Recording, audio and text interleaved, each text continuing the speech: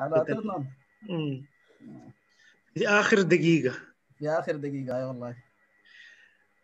آه. أنا والله ليفربول ده ما داير يشيل الكاس كله كله. إيه يعني لو توتنهام يشيل الدوري أحسن. مش كده ولا ليفربول.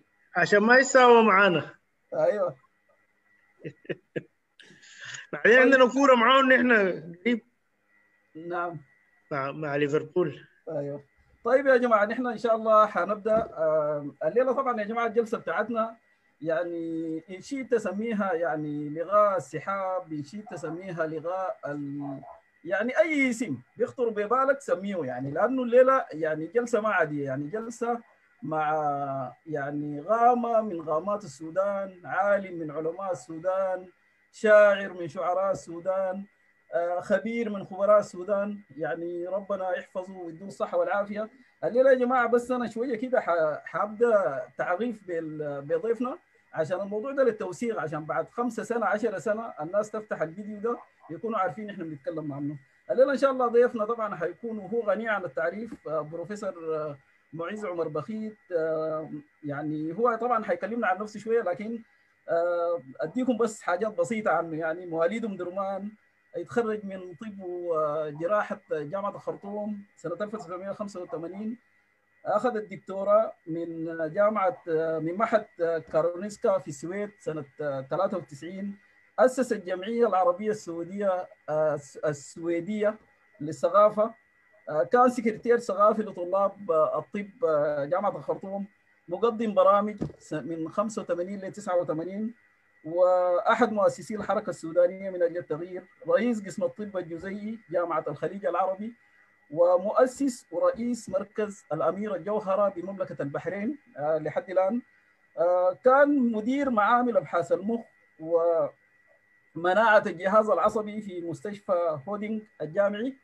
آه دكتور يعني كتب أشعار ولحن له الدكتور الماحي سليمان ومن بعض الأغاني غنى له أخونا دكتور ياسر مبيوع منا من أشعاره يعني لفتت انتباهي طلعني منك يا شجن واحميني من وجع العنيد. وامسح دموع خطل الزمن واسجني في الفرح البعيد. لو يبقى حضن الشوق وطن كل المسافات تبقى عيد مرحبا بك دكتور معيز وأتفضل.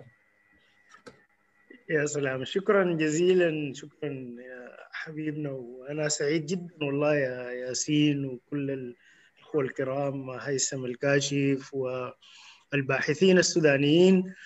ويعني حاجة تشرف والله إنه الباحثين السودانيين يعملوا تجمعات وتحالفات من أجل البحث العلمي وتبقى ثقافة تنتقل للأجيال.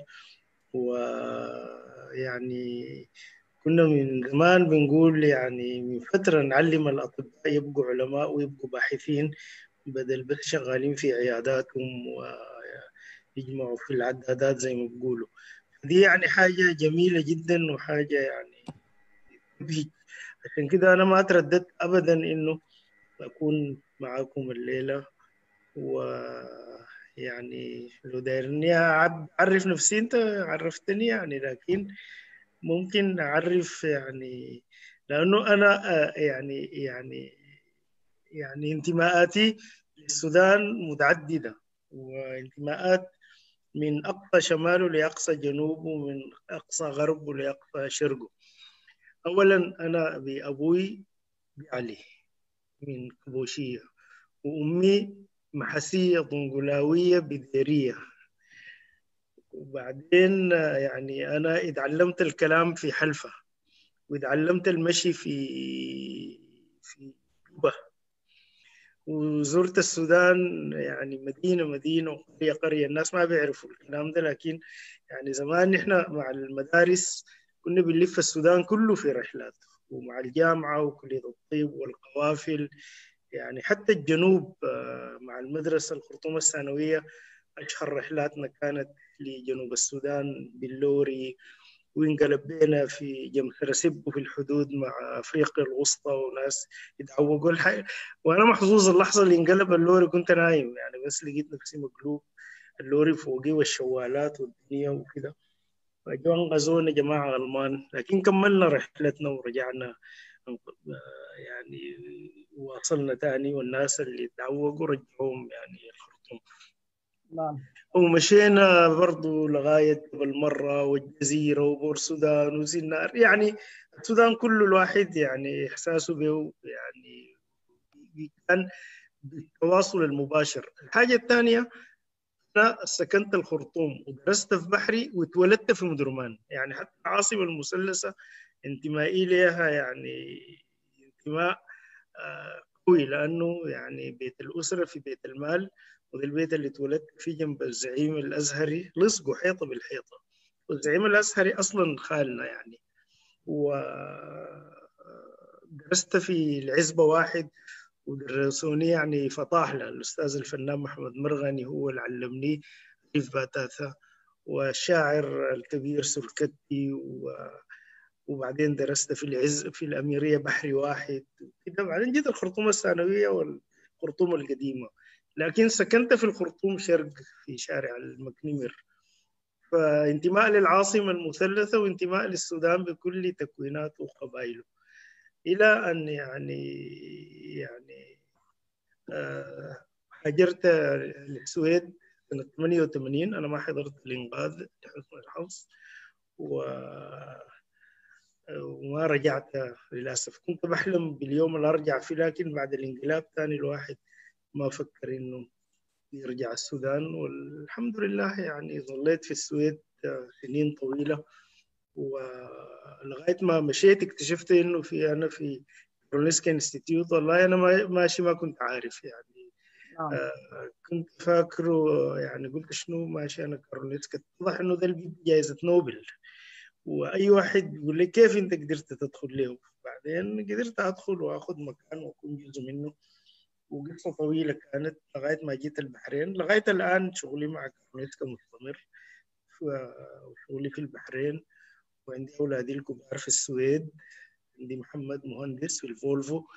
تخرج من ال Royal Institute of Technology وعندي بنتي أمنية مهندسة برضو بتاع الطاقه بيئيه وشغالة في واحدة من الشركات الأمريكية برضو عندها ماجستير في الطاقة البيئية في ستوكهولم. وعندي صغيرة سارة طبيبة خرجت برضو في السويد ودلوقتي تعمل في الامتياز يا دوب أصغر واحدة. وعندي ثلاثة في لندن لسه. واحد داير يدخل طب يا دوب. واحد قال ما داير يبقى فنان ما داير يدخل مع إنه شاطر جدا. والصغيرة دي قالت داير تبقى designer فده كله يعني على كيفه اللي عاوز يبقى وتقدر يبقى المهم يتعلم نعم. ويستكشف ف يعني باختصار يعني الآن أنا في جامعة الخليج العربي في البحرين وجامعة الخليج العربي هي إذا تتبع للبحرين هي جامعة تتبع لمجلس التعاون الخليجي طلابها من الكويت من السعودية من الإمارات كانت قطر إن شاء الله تعود الأحوال ويرجعوا تاني. وسلطنة عمان وست دول الخليجية البحرين طبعا بالتأكيد. نعم. وفي الكلية أنا رئيس قسم الطب الجزيئي أنا أسست القسم ده بعد ما جيت من السويد. وبعدين عملنا المركز مركز الأميرة الجوهرة الإبراهيم الأميرة الجوهرة هي زوجة الملك فهد. الله يرحمه وهي تبرعت بملايين الدولارات عشان نبني مركز متقدم ويكون نواة لل biotechnology وال وال biomedicine وال innovation في مجال الطب وال genetics وال molecular medicine. وجلالة الملك محمد أعطانا يعني أو بالسوداني أدانا قطعة أرض كبيرة جدا بنينا فيها المركز وتوسعنا فيه وبقى يعني عنده وجود في كل العالم واتفاقيات مع أكبر الجامعات من هارفارد لكامبريدج لأوكسفورد ل University of طوكيو لأوساكا عملنا فيه برامج جديدة لأول مرة في المنطقة. عملنا برنامج في ال regenerative medicine ال stem cell therapy وال stem cell science وال anti aging medicine وال DNA editing وال gene therapy وعملنا ال genomic medicine ال precision medicine هذه كلها برامج ماجستير ودكتوراه و centers يعني داخلها وعملنا دكتوراه في ال molecular medicine بأقسام مختلفة في ال molecular immunology في ال molecular genetics في ال cytogenetics في ال biochemical genetics وفي ال medical genetics وتخرجوا لنا يعني ما شاء الله طلاب كثيرين موجودين في كل يعني ال post docs بتاعتهم في كل مكان. نعم. في ييل واللي في هارفارد واللي في كده. ودي الرحلة يعني. أما الشعر الشعر هو يعني أنا دائما بقول أنا شاعر يا هو الطب. والشعر كان دائما عنده الأولوية حتى في الكلية يعني. إحنا حنجيك ل... يا بروف معلش أقاطعك شوية. حنجيك للحتة بتاعت الشعر والحتة بتاعت ال... أنا بس داير أرجعك لورا شوية آه، جامعة الخرطوم. نعم.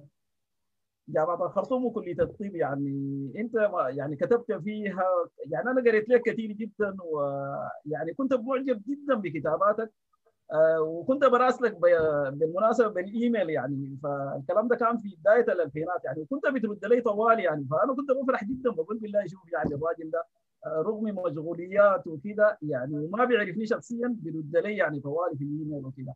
فأنا دايرك بس شوية كده تدينا آه، يعني ذكريات أو يعني حاجة بسيطة كده عن ذكرياتك في أيام جامعة الخرطوم ولما كنت السكرتير الثقافي لطلاب الطب في الجامعة يعني. طبعا دي أيام يعني أيام لن تتكرر وذكريات لازم تتسجل في كتب بس في كلية الطب دي. إحنا كلية الطب دي يعني أنا شخصيا آخر حاجة كان فيها الطب كانت الثقافة هي اللي ماخذة وقتي كله. وكنت أنا رئيس جمعية الثقافة وكنت السكرتير الثقافي لرابطة طلاب الطب وبعدين نحن يعني يعني كنا محركين الكلية. الجامعة دي كلها بتجي تتكب عندنا في الكلية. يعني يعني ما في فنان مشهور نحن ما جبنا في قاعة البغدادي. أنا لما عملوا معي interview كان مجلس آه، الكلية اللي عمل معي interview وأنا داخل في سنة أولى. في صورة البغدادي في قاعة مجلس الكلية. فلسه سؤال سألني له آه، بروفيسور سعد أحمد إبراهيم كان العميد الوقت ذاك. بروفيسور علي فضل وذول كلهم كانوا موجودين. الله يرحمه. فسألني قال لي تعرف الزول ده البغدادي؟ فأنا طبعا ما عرفته. قلت ده السيد علي المرغني مجلس الكلية ماتوا بالضحك كلهم لأنه زول لابس يعني كده عمة وقفطان وأصلا ما أعرف ما فكرت إنه ده يعني يمكن يكون البغدادي. لكن قعدتوا العملة دي نحن يعني بالصباح صح فيها محاضرات لكن بالليل كلها شعر وغنى وثقافة وبرامج يعني حولناها. يعني أذكر في يوم جبت لو تتذكر أو تعرفوا فرقة الكريسيدرز اللي كانت اسمها السودانيين جاز فرقة رهيبة جدا اللي كانوا يعني بيغنوا الكون كله بيدور وإحنا وياه بندور على بحر الشوق ماشيين.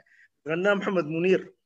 دي لما كانوا يغنوها في الحفلة الحفلة بتفرتك طوالي لأنه الناس يعني فأنا جبتهم في يعني ما في ما في واحد تخيل إنه أنا أجيب في هواة استماع فرقة الكريسيدرز وفرقة جاز في القاعة.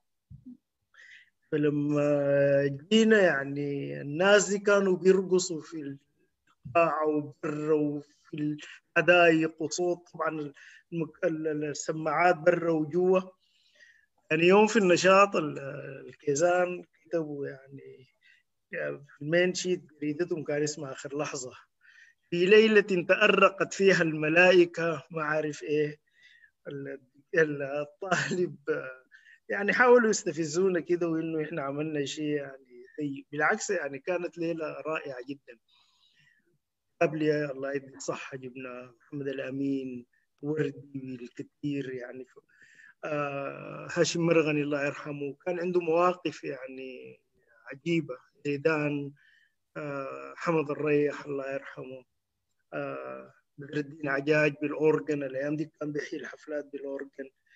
آه طبعا الشعراء آه مصطفى سيد أحمد كان معانا في الكلية طول الوقت يعني من النهار لبالليل والشعراء من مصطفى سند لمهدي محمد سعيد الله يرحمهم ل آه النور عثمان أبو بكر آه طبعا ناس القدال وحميد وديل يعني على طول. لكن الشعراء الكبار ديل كلهم يعني في كل المناسبات كانوا في كلية الطب. بعدين لما تقول لهم يعني أنا لما بقيت مشي نادي الفنانين يعني أي زول فاكرني أنا فنان خلاص يعني لأنه قاعد هناك. كل أسبوع أمشي. أحمد المصطفى نسيت أحمد المصطفى. بس قابلته في الشارع. إحنا طلاب الطب. قال لي يا ابني أنا لي الشرف أجي كلية الطب وأغني لكم. والله دائما الفنانين بيتأخروا. يا أحمد المصطفى ده الوحيد اللي جاء on time يعني. وجاء وانتظر الناس يعني عنده عربية مرسيدس اسمه انساه وقعد بعد ما الناس جملوا القاعه عثمان حسين عثمان مصطفى. كل أسبوع إحنا عندنا جلسة استماع مع واحد من الفنانين ديل أو واحد من الشعراء وغير الأمسيات الشعرية. وبعدين كنا بنلف طبعا على الكليات لما تكون يعني دائما بيدعونا. طبعا أنا زاملت الوقت في الكلية الشاعر ود باديه محمد باديه. وكان في الصيدلة في الأمين حسن العبيد المتجهجه الأممي. وكان طبعا كان القدال قدامنا شوية بس يعني خلى الكلية وطلع. لكن يعني بمشي البدليو عشان اجيبه في الأمسيات. أشوفه وين؟ اجيبه الكلية كده ويجيبه معاه امسكه مني يدي أجيبه. مصطفى سيد أحمد طبعا. و كان برضو يعني شعراء كثيرين. طبعا معنا كوباني دكتور كوباني. كان يعني نسمة الكلية يعني شخص يعني مريح و... وبالداخلية طوالي بالعود وبالكلية وضحك وكده. كل البرامج يعني. بعدين من هناك قدمت برنامج زملاء. مهنة اللي كنت استضفته بديت بحلقة الأطباء اللي استضفته في أمة أجهزة كلية الطب بتخصصاتهم المختلفة. وكان برنامج يعني very entertaining يعني قدمناه الوقت ذاك. و يعني كانت أيام عجيبة. بعدين كنا بنحب الكورة. يعني يعني كانوا لعيبه الكورة أصدقائي وأنا كنت من رخابي مع إنه أهل البيت كلهم هلالات وأصحابي في الطلبة كنا كلهم هلالات أنا من رخابي ومعاي اثنين. ذكر دكتور وليد ودكتور نادر علي الطاهر. وكنا نمشي للمريخ مثلا في المعسكر أول لما يجي الفريق السوداني مرة غيب مرة هربنا نحن خمسة مشينا المعسكر في حتة في المناجل معسكر الفريق لأنه قالوا لنا تعالوا لنا هناك. كانوا أصحابنا صلاح بروف والرشيد المهدية ومحمد حسين كسلة و فكنا يعني كانوا أصحابنا معانا في البيت يجونا في الكلية في الداخلية. يعني كورة فن وفر وتر. غنى وكورة وشعر وكده وبعدين بعدين الطب. آخر حاجة.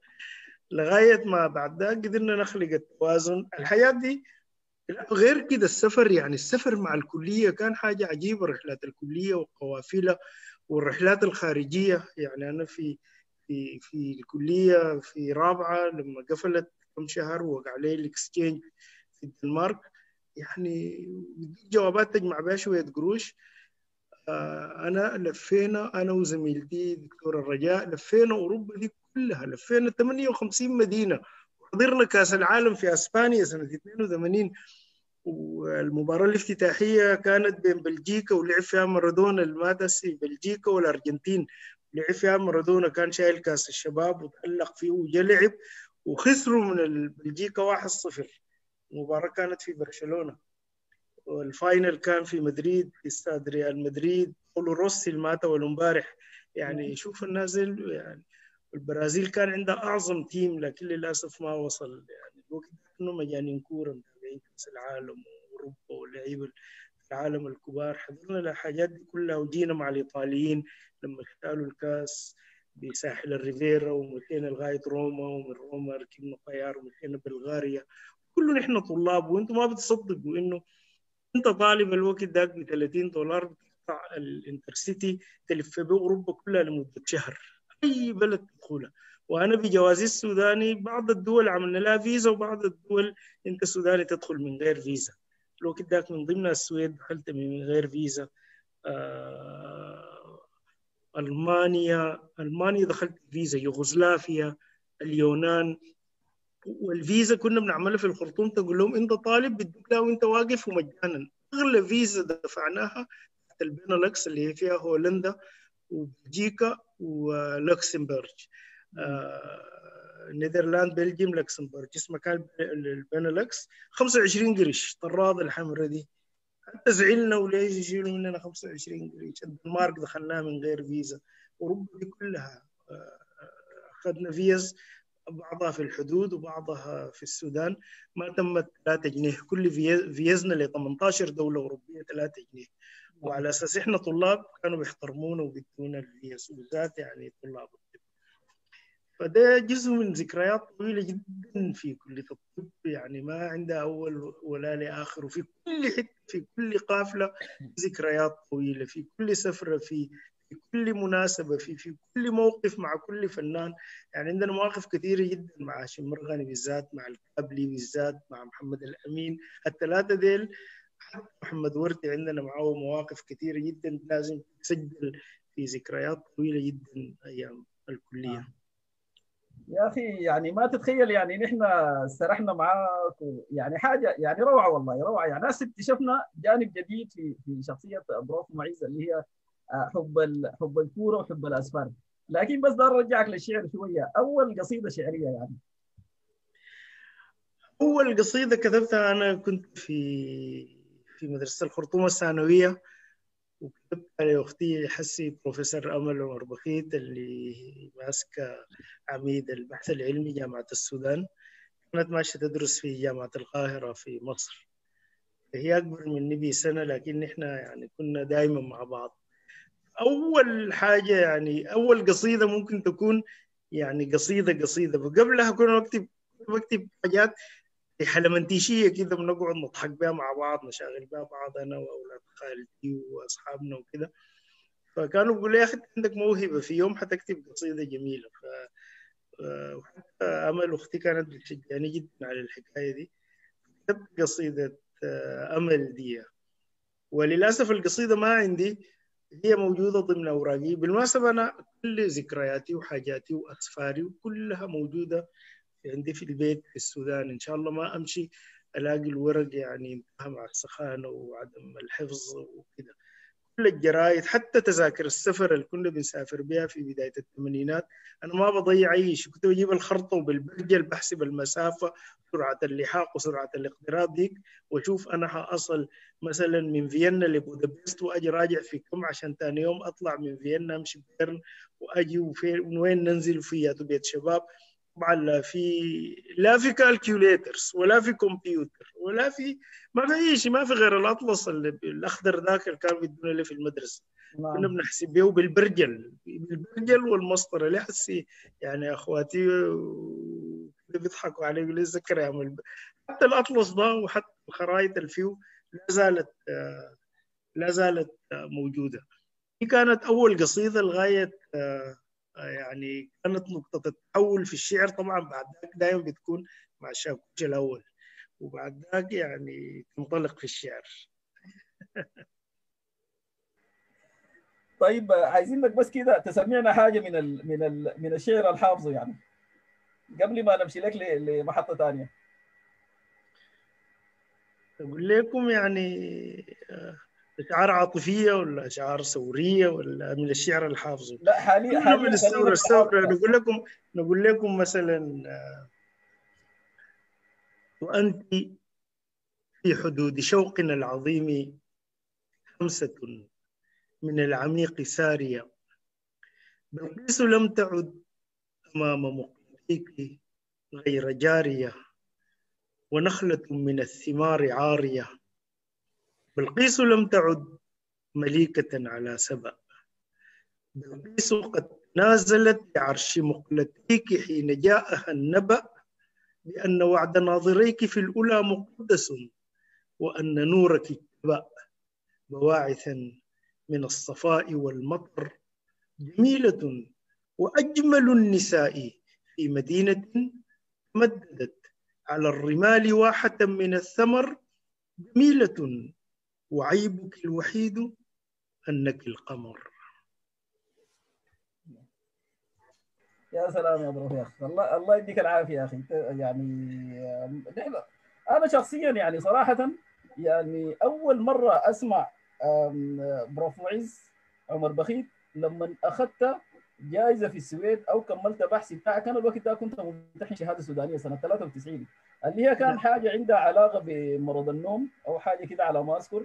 فسبحان الله مع أني أنا ما كنت مفكر مفكر أقرأ طب لكن ال ال ولا قريت طب لكن الموتيفيشن بتاعي بتاع إنه أنا يعني أمشي أبحث وأمشي يعني أتطور. فكان دي يعني دي واحدة من ال... واحدة من الحاجات اللي خلتني يعني أعيد تفكيري في الحياة يعني. والله يا أخي ده كلام جميل. هو طبعا يعني أنا لما مشيت السويد مشيت أتخصص في أمراض المخ والجهاز العصبي. ويعني أنا ما كنت بفهم في البحث وعمري ما مسكت يعني زمان كنا في, الكلية لما نخش بدون الماس صديق اللي بخشمك يعني يشفط المادة وعارف تكون فيها قطنة فوق كده عشان ما تيجي في خشمك وكده. لكن ال pipette مع ال tips الصفراء وال blue وتطلعها وتدخلها دي ما شفتها إلا في السويد لما مشيت سنة 88 شايفها حاجة زي السحر كده. أصلا ما كان لي علاقة بالبحث العلمي وال research وما بفهم فيه ولا في الكلية. ادونا في ال community طبعا بيقول لك تمشي تعمل بحث وتمشي المدارس ونشيل بتاع بتاع ذاك اللي بيشيلوا قدام برضه يسحبوا كده وما البحث في الآخر بيتم مويه ساكت عشان تعدي. وبتكتبه بيدك طبعا. ما في زول بيطبعوا لك ولا في الكمبيوتر ولا في أي شيء. تكتب ال introduction بيدك وتكتب ال objectives وال material methods وترسم بال graphs كده. المهم يعني انت انت عملت ال process الصح وخلاص. نعم. لكن لما مشيت السويد أصلا أصلا خلاني أدخل البحث ده شنو؟ خلاني أدخل البحث ده. أثناء ما نحن بنجي الصباح بنعمل ال clinical meeting وبعد ال clinical meeting يعني يعني بنمشي نعمل ال round والشغل بتاع ال residency المعروف ده. في في ال break كان بيدونا مكتب كبير كده كلنا بي بي بنقعد في المكتب ده. أنا الوقت ذاك طبعا في الكلية يمكن الناس ما عارفة إنه يمكن أنا الطالب الوحيد في جامعة الخرطوم نشرت له دار النشر جامعة الخرطوم. دواوين شعرية وهو طالب. يعني دار النشر عشان كانت تنشر لك كتاب بتمر بمراحل طويلة جدا من التمحيص واللجان وكده وتمشي لمحكمين. ومين كان المحكمين؟ علي المك الله يرحمه مصطفى سند وشعراء كبار وادباء كبار جدا. وأنا تجرأت وقدمت ديواني اول اول أول مجموعة طبعتها في مصر وطبعا لي يعني طبعتها أمل أختي وزملاء جمعوا قروش وطبعوها وجابوها ووزعوها وانتشر كان كان السراب والملتقى. لكن مجموعة البعد الثالث أنا تجرأت وقدمتها لدار النشر. لما مشت دار النشر يعني مشت للمحكمين وكده ففوجئت بأنه دار النشر قررت تطبع الديوان وقالوا المحكمين قالوا كلام يعني جميل جدا ومصطفى سند كتب إنه هذا شعر جديد بمعنى كلمة جديد من معنى كتب لهم كده وإنه ده شاعر يعني كده وهو ما بيعرفني ولا أنا بعرفه. ونشروا الكتاب ده. وواحدة من الكتب دي يعني واحدة من القصائد دي فازت في مهرجان الثقافة. حتى يعني استغربت يعني إنه معقول أنا أفوز في مهرجان الثقافة وفزت بجائزة جائزه الشعر. كان مهرجان ضخم على مستوى السودان الوقت ذاك. المهم دار النشر طبعت لي الكتاب ده وطبعت لي أوراق للحب والسياسة وكان عندي آه السراب والملتقط ثلاثة دواوين صغيرة كده فخدتها قدامي في المكتب فيها صورتي صغير والشعر فداك يا خنفسة ف... فجاء البروفيسور شاف الكتب دي كان داير لي حاجة تبع الكلينيك. شاف صورتي في الكتب الصغيرة فسألني قال لي وزيس قلت له ده شعر ده شاعر؟ قلت له أيوه.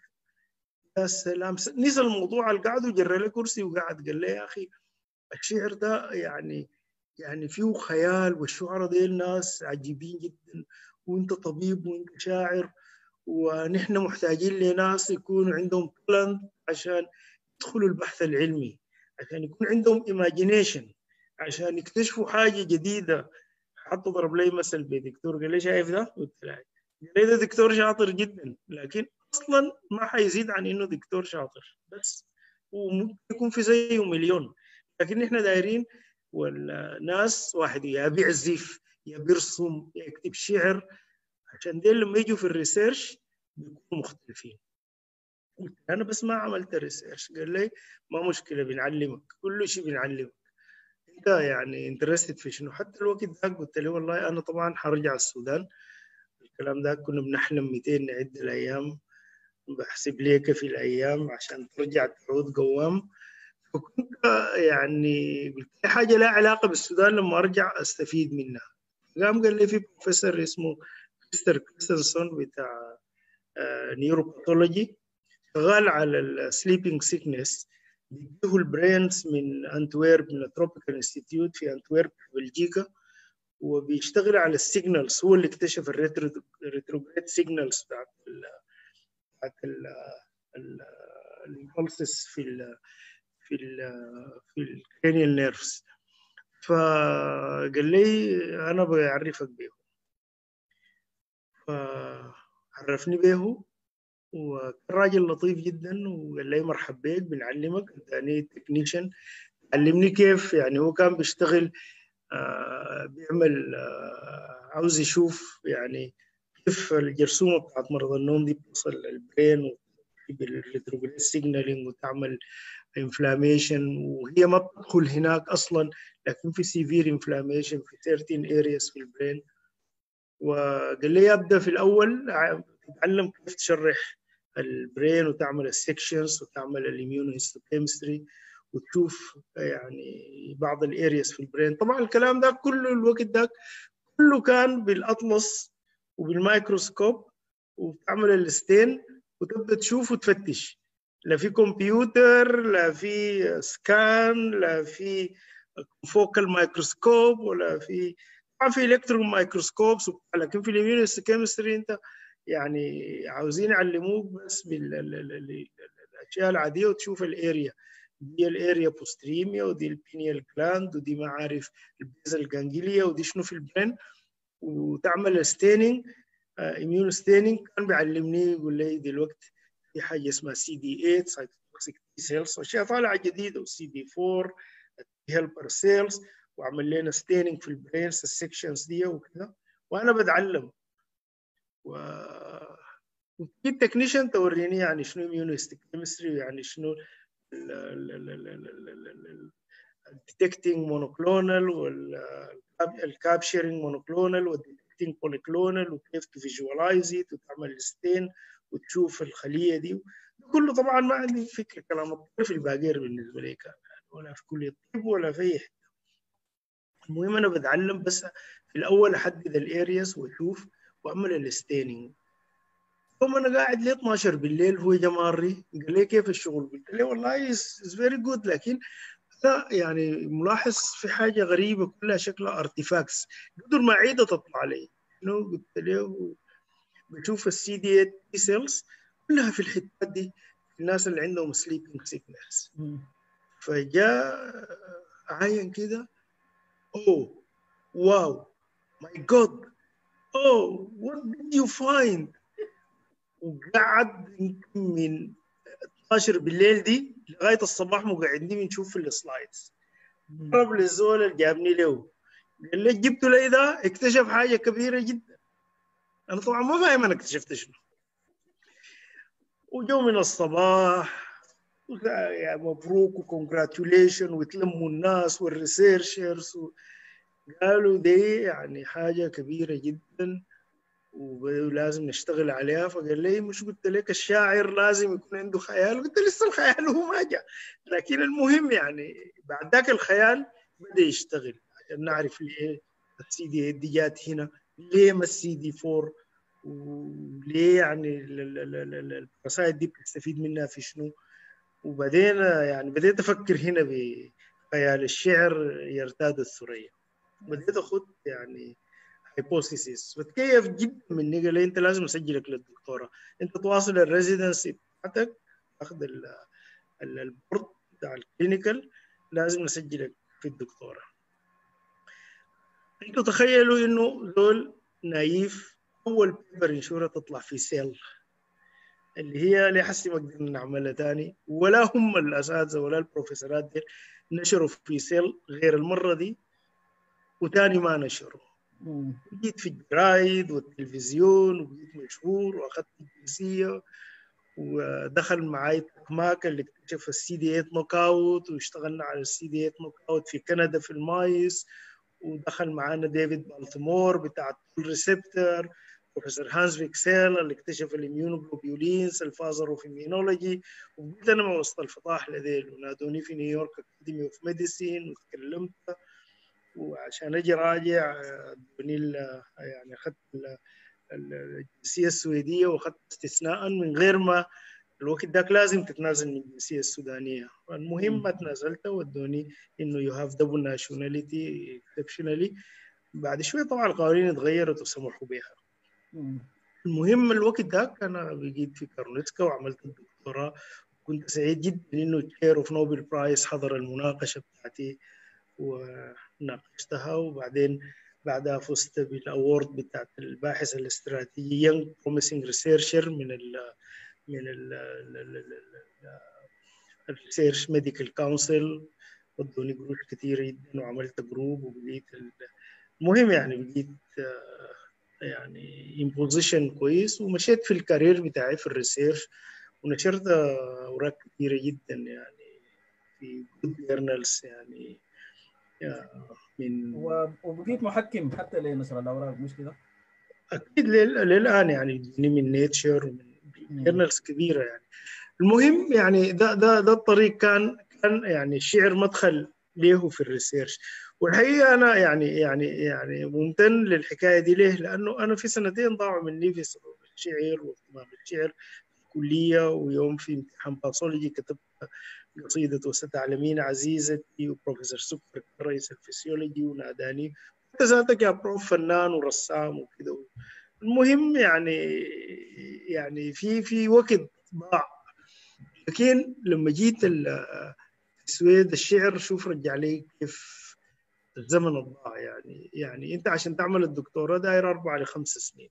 وعشان تعمل ال board داير أربع لخمس سنين. لك عشر سنين عشان تعملهم الاثنين لكن الاكتشاف ده دخلني فيهم الاثنين فعملتهم يعني أربع سنين يعني ست ست سنين. السنتين الضاعوا عوضتهم بست سنين كسبتهم. فكنت لما اخذت ال competence بتاع ال professorship في السويد كنت أصغر واحد. لما اخذت الجائزه كنت أصغر واحد. ف... فالحمد لله يعني بقيت الشعر دائما أولوية. مرات أكون بحضر في محاضرة تجي قصيدة اكتبها أتذكر مرة أنا وكوباني بنقرأ كده في قاعة انيس في جامعه الخرطوم وقاعد جنبي ونتونس وكده وهو يقرأ. شوية أنا جاتني قصيدة بتاعت ومضى الزمان ولم أزل ألقى احرج كلما أمضيت عهدا في الصعود إلى عوالم مقلتيك القصيدة دي بس أنا في قاعة انيس بنذاكر جاتني نزلت كلها كوباني بيقرأ. اسمع كوباني اسمع شو أنا كتبت يا الله يا الله. قال لي القصيدة دي بس الطيب عبد الخالق. الطيب ده كان شاعر بحب بس اديت للطيب قلت له اقرا القصيدة دي. الطيب ده القصيدة دي حفظها من بس من أول قرية حفظها. كل يوم يجي يقول لي مضى الزمان ولم أزل القت يا سلام يا سلام. يعني كانوا الناس ذاته حاجاتهم الشعر واهتماماتهم يعني عجيبة. بالطريقة دي الشعر يعني رجع لي بعض الحاجات دخلني في ال research البحث العلمي اللي ما كنت أفقه فيه. بعدين يعني أنا أخذت أنا الدكتوراه قبل ال board يعني. شوف مشيت فيه سريع جدا. 16 أبريل 73 يعني ناقشت الدكتوراه. والدكتوراه في السويد based على ال publications لازم تنشر أوراق. فأنا نشرت أوراق علمية يعني في Cell في Journal of Immunology في European Journal of ال journals الكبيرة دي نشرت فيها. كلها وناقشت الدكتوراه بتاعتي ويوم 7 July نفس السنة يعني بعدها بثلاث شهور ناقشت امتحنت ال board. اخذت الزمالة. خلصتهم الحمد لله مع بعض.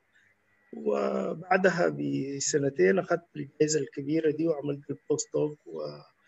واشتغلت ال rotations بتاعتي. ومشيت في في السكة اللي لازلت يعني بين ال clinic بين ال teaching وبين ال research وتابعنا العلوم لما تطورت يعني قدرنا في البحرين نحققها.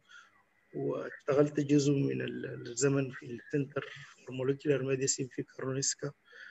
وبقت بيننا علاقات يعني مع العلماء في العالم والانتقالات وكده. والحمد طبعا لله. وأكيد انت طبعا وأكيد انت يعني أنت ذاتك يعني ساهمت في في في في إنه ال- ال- ال- التكنولوجيا أو الحاجة دي تتطور أنت ذاتك واحد من من الأعمدة بتاعتها. أنا دارك بس في الحتة دي يا بروف يعني عندنا معانا طبعا طلبة صغار لسه بيدرسوا في الجامعات وماشيين يدرسوا في الجامعات بس يعني يعني تديهم كلمة في الحتة دي يعني الحتة بتاعت إنه يتحفزوا ويمشوا لقدام يعني. طبعا الطموح والاجتهاد مهم جدا. يعني إحنا تجربتنا في كلية الطب أنا ما بقول يعني أهملوا الدراسة لا. يعني دلوقتي يعني لازم أنت يعني يعني إحنا كنا محظوظين شوية لقينا فرصة آه، عشان نتعلم من الزيرو بعد ما تخرجنا. لكن دلوقتي ال competition عالية. لازم أنت يكون عندك ال base اللي يعني وأنت وأنت في الكلية. ولازم يكون انت عندك الطموح وعندك الاختلاف. يعني you have to be different. تفكيرك يكون غير. يعني ما تعمل الشيء اللي بيعمله أي زول.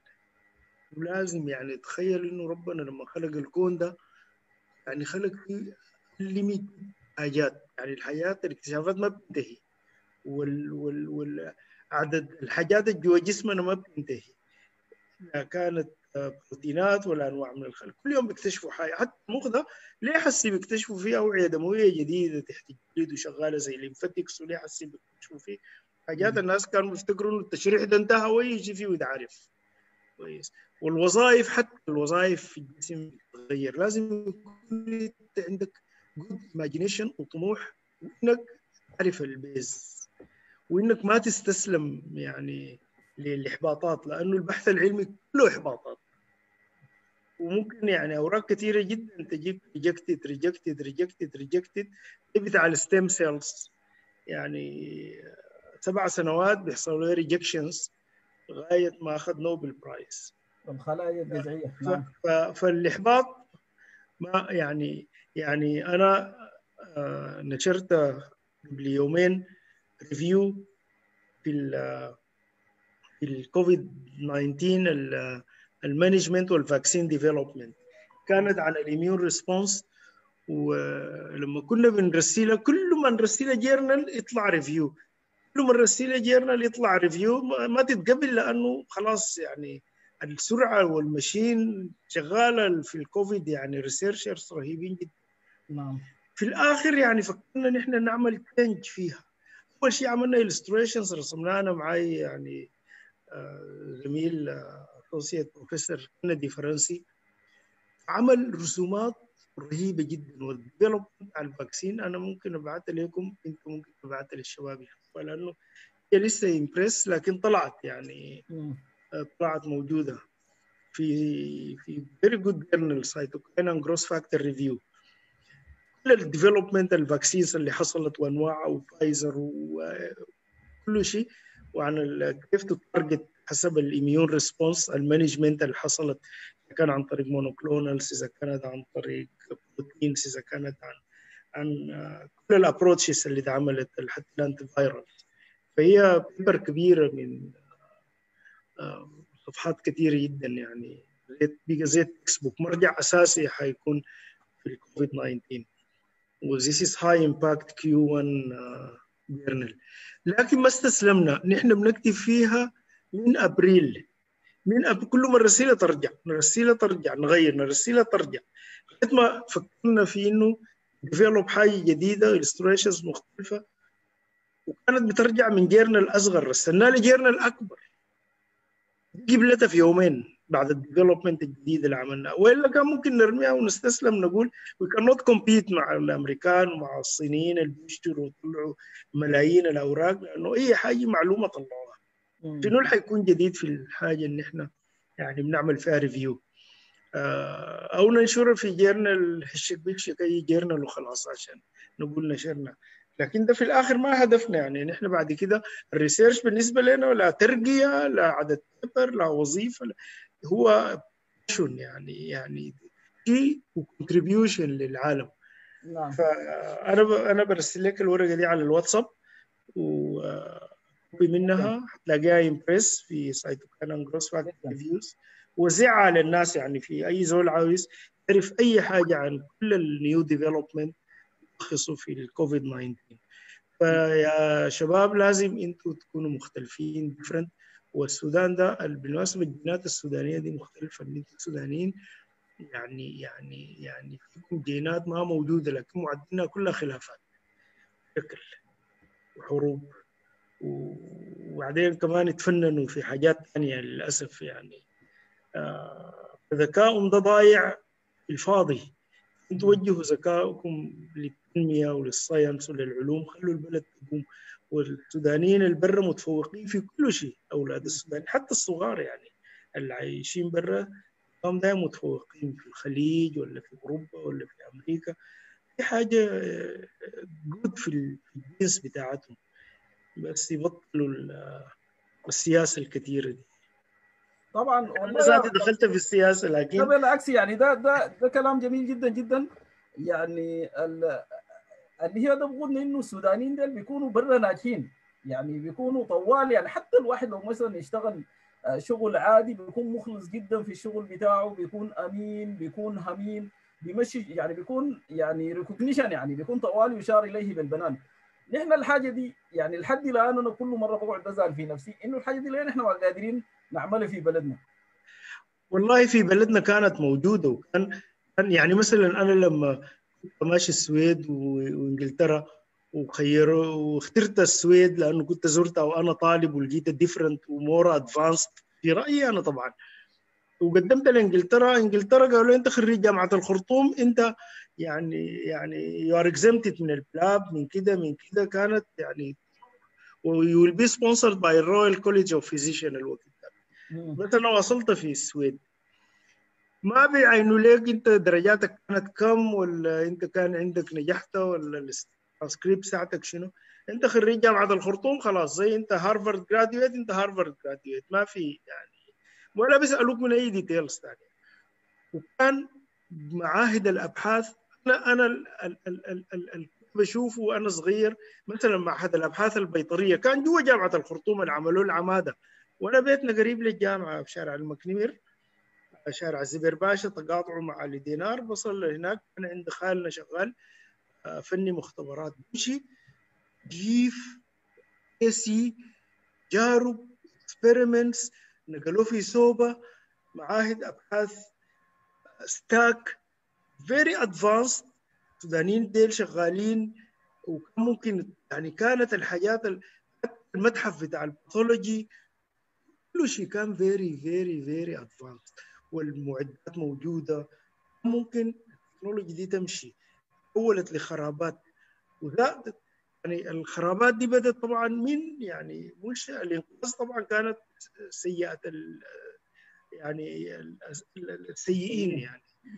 لكن من زمن نمير الخراب بدا والكوربشن بدا والدمار بدا والتمكين بدا وبعده في فترة الانتفاضة المحاصصات بدأت والحب السلطة بدأ وجاء الانقلابات وجاء ناسية لله وجو مين وجو مين بعد تدمرت أصبح لا في ريسيرش يعني الريسيرش بقى والساينس بقى زيه زي باقي الحاجات الكورة انتهت الساينس انتهى المستشفيات انتهت التعليم انتهى الرياضة الشوارع انتهت الإنسان السوداني انتهى. بقى كل واحد يعني عنده نوع من الدجل والشعوذة وكل واحد عاوز يعني ياخذ من الثاني يعني يعني الفهلوة ونسوا نسوا الحاجات السودانية والقدرات اللي كانت موجودة. وإلا السودان كان متقدم جدا مركز الأبحاث في الجزيرة في البيترا في سوبا كل مكان. وممكن ترجع الحاجات دي لأنه العقل السوداني يعني الجينات دي ما تغيرت ما حصل فيها mutations لا زالوا متفوقين. بس يعني يعني فرقتهم حاجات كثيره جدا لازم نعيد ترتيبها. أنا في يوم شعرت بإنه دي جزء من مسؤوليتي إنه نعم. يعني أعيد ترتيب الحاجات دي. لكن ال approach الوحيد هو السياسة. يعني لازم تمارس سياسة لكن سياسة محترمة. يعني أنا في في السويد كان بيكون معاي في قطر كثير جدا. رئيس الوزراء. بيكون راكب بيقرأ في الجريدة ومرات بيكون واقف. القطر يكون زحمة ال underground أربع مرات أنا لقيته. وأنا طالب مدير المستشفى كان بيجي مع كنت بودي محمد ولدي روضة. ودي الباص وبجي. الباص ده بلاقي بيكون مدير المستشفى ال CEO الكبير بتاع المستشفى. بيجي في الباص ده وبينزل الملكة مرة لقيتها في سوق الأحد اللي بينصبوا كل واحد شايله سبت ومعاها واحدة وتشتري في حاجات. آه رئيس الوزراء الثاني كارل بين المحافظين. ثلاث مرات لقيته في الأول تاون بيفسح أولاده. ده زي أولف بالم كان في السينما لما قتلوه. الاستخبارات لأنه كان هو مع جنوب أفريقيا والتحرر وفلسطين وكذا. فما خلوه. فالناس هناك وفي يعني يعني يعني يعني غير. ليه نحن ما نخلق الجو؟ يعني الجو الإنساني الديمقراطي الصحي. يعني مرة يعني أحكي لكم موقف. مرة آه الملكة جاية تفتتح كان اليوم العالمي للإيدز. وزي ما قلت لكم كارولينسكا بدي جائزه نوبل في الطب وكانوا محتفلين باليوم العالمي جاية الملكة في ال في ال في ال في ال في, ال في ال institute عشان تفتتح ومنتظره وزير الصحة ورئيس الجامعة والناس. وفي يعني ال institute هناك مركز الجامعة. طبعا ال institute عنده زي ثمانية مستشفيات. الناس بيمشوا commuting بين المستشفيات الطلاب وكده وبيجي باص بينقل الطلاب. قدام القاعة بتاعت ال Nobel Forum دي في محطة دي فيها بص الطلاب. طبعا ما قفلوا الشارع عشان الملكة جاية ولا يعملوا أي شيء. الملكة اللحظة نزلت من عربيتها وعاوزة تسلم على على الجماعة. البص البص جا وقف وراه لقيت في في في محله. وقف ورا عربية الملكة. بعد ما مدت يدها تسلم على وزير الصحة رجعت رجعت للسواق بتاعها قلت لي حرك العربية. ومشت لسواق البص اعتذرت له وإنه إحنا وقفنا في محلك اعتذرت له والبص جا رجع ما وقف. بعدين مشت سلمت على الناس ودخلت القاعة دي ملكة السويد ف... leading by example. يعني يعني وكانت حاجة يعني ما في حاجة مستغربة ولا حاجة غريبة ولا يعني ده التصرف العادي إنه يعني إنه الناس سواسية. يعني الحاجات بتاعتنا زمان إنه نكون مع بعض يعني يكون في الأمانة والشرف والأخلاق مش يعني الدسايس والمؤامرات والإساءات والحفر وال... وكله عشان مصالح وعشان حاجات هايفة. لكن الضحيه في الآخر البلد والمساكين والشعب وال... ف... ف... فإنت عشان تصلح كل حاجة لابد من إنك تدخل في السياسة لكن. لازم تدخل بمشروع مختلف بطريقة مختلفة بشكل مختلف عشان يعني عشان ترجع الحاجات لأصلها ولا يصح في الآخر إلا الصحيح نعم يعني يعني ده كلام طويل ما ما ندخل فيه حسا لكن نواصل. ما في طريقة تزوغ منها يا بروف. يا أنور دفع الله معك. ازيك يا حبيبي يا أنور كيف أحوالك؟ إن شاء الله طيب. كيف صحتك وأحوالك يا أخي؟ طبعا أنور ده قابلته في كوريا أنا سنه 2005 نعم نعم. لكن قبل كوريا وبعد كوريا كان بيناتنا تواصل نعم قوي نعم نعم. جدا يعني. نعم نعم. كيف أحوالك يا نور؟ والله يا أخي. أنت فخري كبير. حبيبنا يا أخي الله يديك العافية. فخري كبير لينا لما لقيتك في كوريا أنت مشرف. على رسالة الدكتوراه بتاع زوجة السفير الكويتي بتذكر الكلام ده؟ صحيح أيوه. نعم نعم. فما شاء الله يعني علاقات دولية و... وتأثير محلي وعربي وإقليمي وعالمي.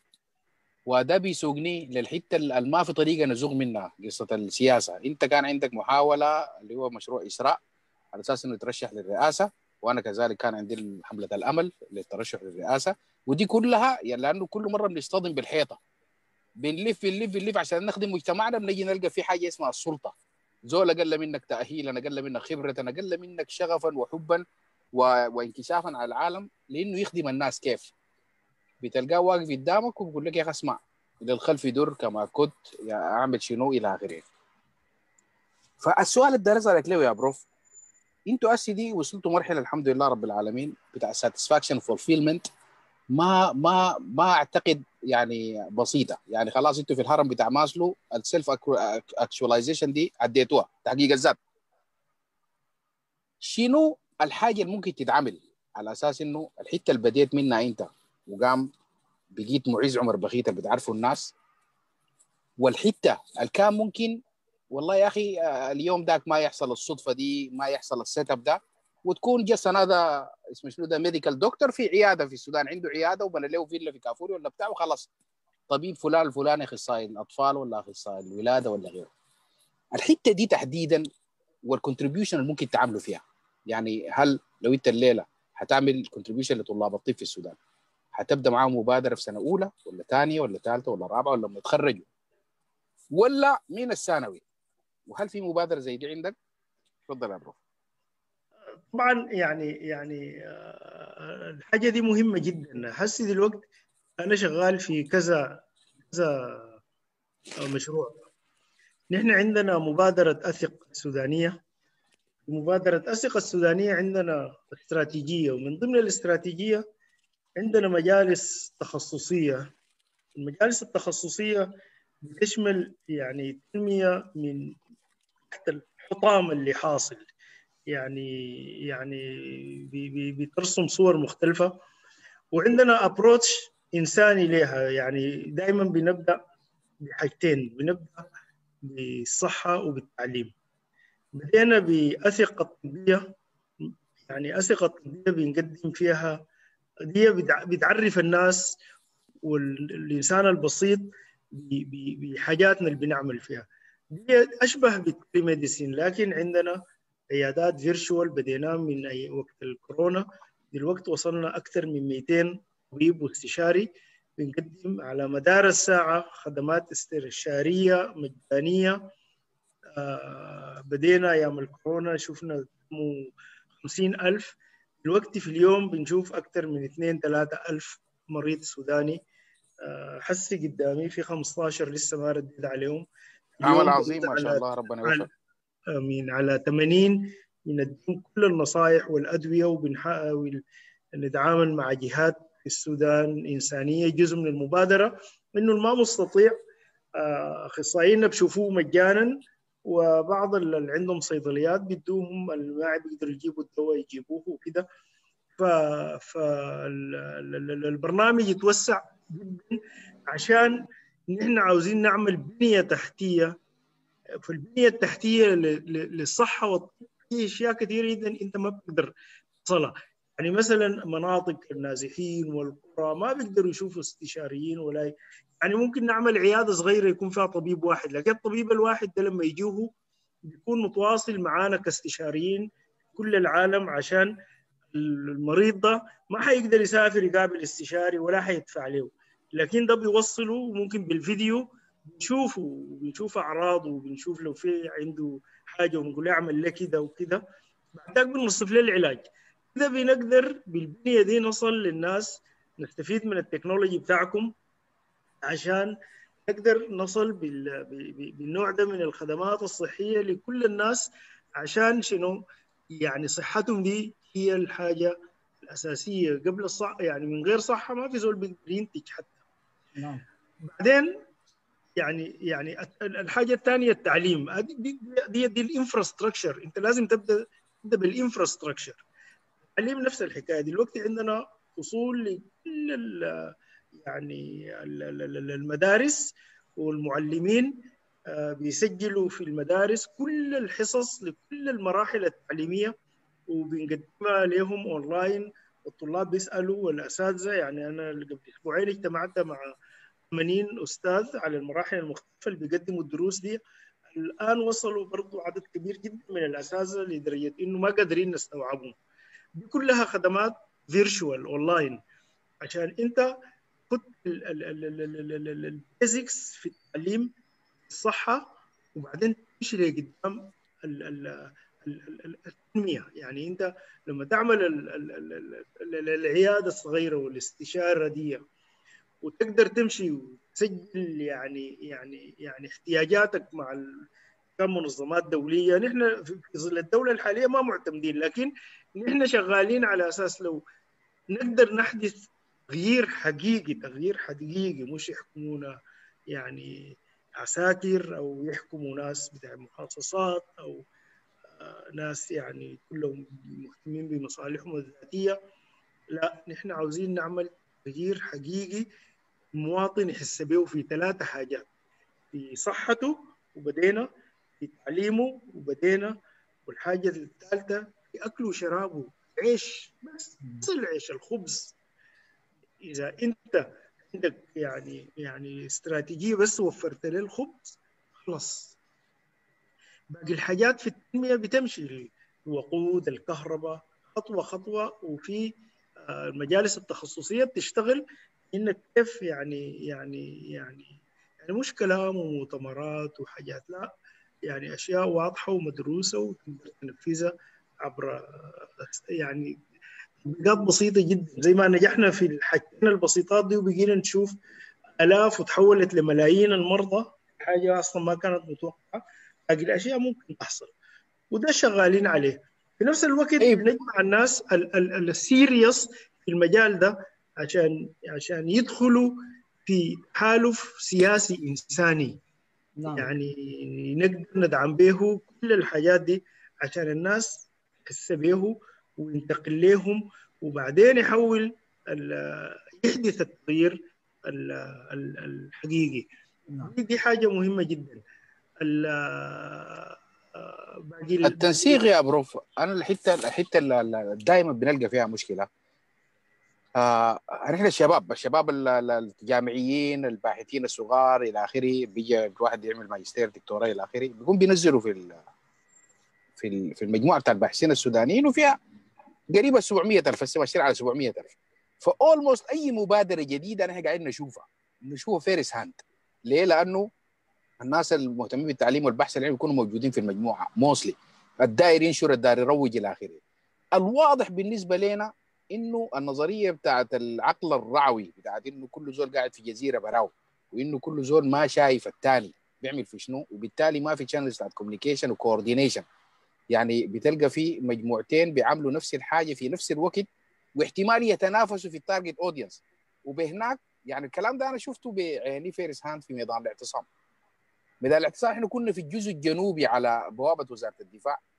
ما كان بيصل ثلج وبهناك الناس اللي على ال clinic والمع بيكون عندهم abundance بتاع الثلج مثلا وبتلقى بيجاي مثلا ما في بلح في رمضان وبهناك في بلح كثير لما ما عارفين يودوه وين الكلام ده من ال level الصغيروني لحد ال level الكبير بتاع الناس دار تعمل لها تحالف سياسي إنساني عشان يكون عندها influence على الحكومة.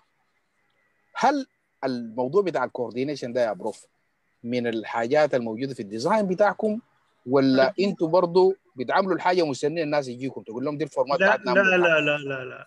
ده ده كان النقطة اللي ذكرتها دي مهمة جدا جدا جدا جدا, جداً عشان الناس تتفادى كل ال ال ال ال الأخطاء وتعمل بصورة different أنا دائما بقول أنت لازم to be different عشان تصل للناس وتكون حاجاتك مختلفة. نحن التنسيق للآن ما طلع.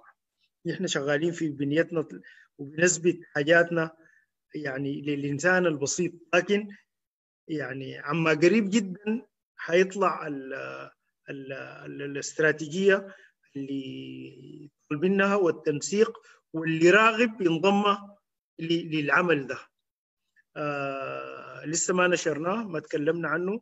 آه لسه مستعينين على قضاء حوائجنا بالكتمان عشان نضمن لها النجاح. لكن يعني إن شاء الله لما تكتمل كل ال- ال- الصورة والفكرة والعمل اللي بنأدي فيه ده يعني ينضج تماما ويصبح يعني ثمرة إنك تقطف ثما- تقطفه آه، حنطلع للناس. في مؤتمر صحفي حيكون قبله نسقنا مع كل الناس و يعني يعني يعني تفادينا كل الحاجات ال- ال- ال- الفردية. وأنا حسي ما عاوز أتكلم كثير عنه لأنه ما عاوز يعني أكشف الأوراق لكن ما حنخلي السودان يضيع آه، بالصورة شايفينها ده دي مسؤوليتنا. يعني السودان دفع علينا وعلمنا ودانا الجينات دي وخلق لنا base وكده يعني. أنا في أي محل أنا ما بقول أنا سويدي يعني. أنا سوداني. نعم. صحيح بين السويد والسودان في الألف واللام والسين والواو والدال لكن يعني يعني في الآخر يعني عيوني لا زرقاء. طيب في حاجة ثانية مهمة. أعتقد انها prof دي لازم نتطرق لها ونتطرق لها بسرعة. إحنا برضو الشباب بيجونا في مجموعة الباحثين السودانيين طوال دايرين funding. يا اخوانا أنا ماشي مؤتمر وجيبلوني ولا أنا لقيت لي partial scholarship المفروض انها تمها ولا كده. ناس بالمقام بتاعكم وال connections بتاعتكم أنتوا بتعاينوا زي ما بيقولوا كده sea view بتعاينوا بفوق الملعب كله. عارفين الكرة بتدق وين؟ من اللي عنده قروش والأولويات بتاعته كده. هل في أي جهود بالنسبة لكم أنتوا في إنه تعملوا scholarships يعني سواء يعني self funded ولا تساعدوا في إنه توصلوا الناس بال funders لأنه دي دي حتة فيها gap كبير جدا يا prof. تفضل. طبعا طبعا يعني يعني نحن شغالين في الحلول الفردية دي على على مستويات شخصية يعني لكن لازم يكون العمل global يعني لازم يكون أنت عندك حل شامل لازم يعني زي ما الناس كانوا بيطلعوا بعثات طبعا الكيزان طلعوا ناسهم كلهم بعثات. زي ما كان في system بتاع بتاع إنك تسافر وتدعمك الدولة. يعني أنا سافرت الدولة دعمتني لكن كانت على منحة من السويد يعني بمراسلات شخصية. يعني لما حصلت على المنحة من السويد الدولة دعمتني بالباقي. تذاكر السفر أكملت الناقص من المنحة. المنحة كانت فردية لما تكون انت مزوج وأطفال الدولة بتكمل لك المهم كان في يعني الدولة دفعت. لكن غير المنحة يعني ما نحن قرينا في مدارس الحكومة. كانت مدارس بتدوك الكراس والدوايه اللي بيخطوها ديك والريشة وبعدين القلم والكتب دي كلها بتدوك لها فور وما في حاجة حتى الجلاد اللي بتغلف به بتدوك له. اللي ما عندهم اللي كانوا مساكين مثلا محتاجين بدهم الفطور حق الفطور الإعانة البرسري جامعة سكن فخم يعني داخلية البحر الأحمر. أنا ادوني فيها غرفة فخمة جدا أحسن من الأوتيلات الحسن. الوقت ذاك. ودونا bursary. يعني ما كنا محتاجين. يصرفوا لنا كل الكتب بتاعت ال anatomy بتاعت ال biochemistry بتاعت الفسيولوجي كلها ملكك أنت. يعني يعني يعني كل الحياة دي أنا أصلا ما رميت حاجة موجودة. فالسودان عليه له حق له دين وأنا. فما ممكن نشوفه بيضيع كده. ممكن أقل شيء يعني نرجعه للعهد الطيب العهد اللي بيكون كل إنسان بيحس يعني قبل أيام في واتساب حايم لولد تينيجرز شكله. بيقول له وقت الحاجة ندمت عليها شنو في حياتك؟ يقول إني رجعت السودان رجعت من السعودية السودان. أيوه ف... والله ف... أنا دون مقاطعه عليك يا prof أنا ذاته يعني بتمنى إنه الناس الحاجات ال negative دي بالذات هسه معانا شباب ما شاء الله متعلمين و... وشباب يعني فاهمين معانا في ال في ال في الصفحة بتاعت الفيسبوك. وبيرسلوا لك السلام يا prof وبيشكروك. ف يعني الواحد بيتمنى إنه الحاجات ال negative دي الناس ما تتداولها. لأن دي حاجة يعني محبطة جدا. يعني تخيل إنك أنت طبعا في في ناس علم النفس بيقول لك شنو؟ بالذات لل social media. بيقول لك أنت لما تصحى من الصباح ما تفتح ال social media ما تمشي على واتساب ما تمشي على فيسبوك وكده لأنه يومك حيتبني على أول حاجة قريتها. تمام؟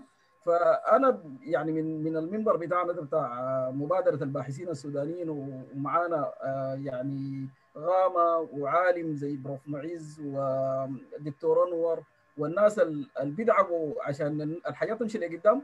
يا جماعة الحاجات ال negative دي ما تنشروها. يعني ما يعني إنت ذات الرسول صلى الله عليه وسلم قال قول خيرا واصمت فإنت ذاتك كونه يعني تحرك حاجة زي دي ممكن تضر بها زول بالمناسبة. يعني ممكن هسي أنا أكون مفكر والله أولادي يمشي السودان عشان يمشي يتعلموا عربي ويتعلموا كده. لما تجيني رسالة زي دي من طفل أو طفلي يشوفها فممكن يغير رأيه. فأنا بتمنى إنه يعني ال ال الناس ال social media دي يعني يستعملوها استعمال عشان يبنوا بيه بلدهم يعني مش إنه يدمروا بيه بلدهم وسمعه بلدهم يعني. صحيح. وبعدين الحاجة دي يعني يعني على طول بتصل حتى لكل الناس يعني غير السودانيين وبتناولوها بيناتهم وحكت صورة سيئة جدا عن السودان. الليلة برضه أنا شفت فيديو سيء جدا عن بنت بتتكلم عن مورفين وأبوها وعملية وبتشرب في مخدرات وبتدخن. بتتكلم بألفاظ سوقيه جدا. وهي برضه تينيجرز ما اتخيل ليه عمرها يعني بفوت ال 16 17 سنة. ما إن شاء الله ما تكونوا شفتوه. بس موزع في كل حتة. بنت سودانية بتتكلم وبتتكلم بألفاظ يعني يعني نحن الألفاظ الشوارعية دي يعني يعني حتى نحن أطفال ما كنا بنستخدمها إلا بنضحك بها مع أصحابنا. نعم. بتنشرها في فيديو تضرب في السيجارة والدخان و... وبالنسبة لي أنا ك neurologist انها هي مخدرة يعني تصير مخدرات. وتشرب في يعني يعني ومتداول. بكرة يجيك من واحد سعودي ويجيك من واحد لبناني ويجيك من واحد منو؟ وعليه والله يا بروف طبعا في في في هسي entire new science اسمه ال digital sociology ده أنا highly recommend يعني أنصح الشباب كلهم انه يمشي يقروا عنه اللي هو علم الإنسان. آه في في الرقمي علم الإنسان الرقمي digital sociology الناس اللي بيقروا sociology بيكون بيعرفوا كويس الكلام ده معناه شنو. ونحن ما عندنا دراسات بكل أسف. يعني دي حالة شاذة. دي هسه لو جبت لي انت توزيع بتاع بيانات بتكون دي anomaly outlier حاجة بعيدة كده. ال bit دي حالة شاذة. الما شاذ هو السلوك بتاع النشر. يعني هي ما واحدة. لو أنا وصل لي الفيديو ده وكتلته عندي ما بيصل زول ثاني لكن السلوك اللي هو اللي قال عليه ياسين ده بتاع ال serendipity ده إنه كل واحد يوسع الدائره بتاعته أنا أعمل forward في الواتساب لده ولده ولده ولده وزي ما قال زميلنا نعيم علي قبل كده وكان من المتطوعين الرائعين في دار المايقوما إنه الزول الوقور السوداني اللي كان عنده حياء وده اختفى مع وسائل ال social media. بقى الزول الكبير حتى الراجل الكبير زمان تقول له عمه ولا جده ولا بتاع بقى هو ذاته يرسل لك في النكات الشكلها كيف ويرسل لك في الفيديوهات الشكلها كيف والألفاظ كيف. فعملت ال social media ظاهرة بتاعت communality إنه انت عندك username وأنا عندي username انت عندك اسم في الفيسبوك وأنا عندي. انت عندك رقم في الواتساب وأنا عندي. فالكتب متلاحقه أرسل لك أي شيء في أي وقت. ودي الحاجة الدائريه إحنا ندرسها. ونشوف كيف يفترض إنه يكون في تأدب يكون في ثقافة بتاعت أدب استخدام. انت لو عمرك كده انت لو دي الحياة المتوقعة منك ولو ما عملتها انت المجتمع بيلفظك. دي زمان في الحلة حاصلة مش كده يا بروف؟ طبعا. الزول لو في الحلة مسكوك مثلا انت طفل صغيروني ما اعرف سيجاره ولا عملت ولا بتاع الناس الحلة المجتمع نفسه مسؤول من تأديبك وتربيتك. دي اسي بقت ما موجودة. إنه كل زول يا أخي ما خلاص ده شوف على الزمن ده الصعاليك ذكرتني الحتة أنا والله سبحان الله كنت أتكلم فيها بتاعت إنه حتة الإرشاد النفس السلوكي البسيط. يعني نعم. نحن عندنا في النرويج أنا كنت بداية مدخلي في الخدمة في النرويج في النرويج كنت اشتغلت في مدرسة. اكتشفت حاجة جميلة جدا جدا اللي هي إنه طلبة الجامعات زي عندهم زي منظمة كده بيكونوا لابسين uniform في الشتوي وفي الصيفي بيقوموا يتجولوا في المناطق بتاعت التجمعات بتاعت ال teenager اللي هم من عمر 11 سنة لحد 14 سنة. أول ما يظهروا في الأماكن دي الطالب عارف إنه ده زول أكبر منه سنا وإنه هو باللبس اللي هو لابس ال uniform ده مفوض إنه يتكلم معاه ويتناقش معاه وكده. فالحاجة دي لقيت لها أثر كبير جدا على ال teenager لأنه بيكونوا في زي تبادل خبرات وهم من التجارب اللي شافوها لما يشوفوا سلوك ما يعجبهم سواء في اللعب. يعني في يعني هي ذات الاختلافات هنا ممكن يكون بسيطة يعني ممكن يكون في لعب خشن في السلة ولا في الكورة ولا كده بيجي يتدخلوا في الحتات دي أو مثلا لو بيشربوا سجاير أو كده أو مثلا آه في زول من زوي وهم ما اهتموا به وبيجي يتكلموا معاهم فحاجه كده المجتمع قايم به ودوره كبير. فاثره كبير جدا جدا يا أخي. نتمنى نشوف حاجات زي دي والله في السودان. طيب يا بروف آه أنا عندي لك سؤال. آه الليلة دي أنت ما في يدك قلم. في يدك علم ومعرفة و access وشبكة عالمية بتاعت علاقات وكده وبتاع.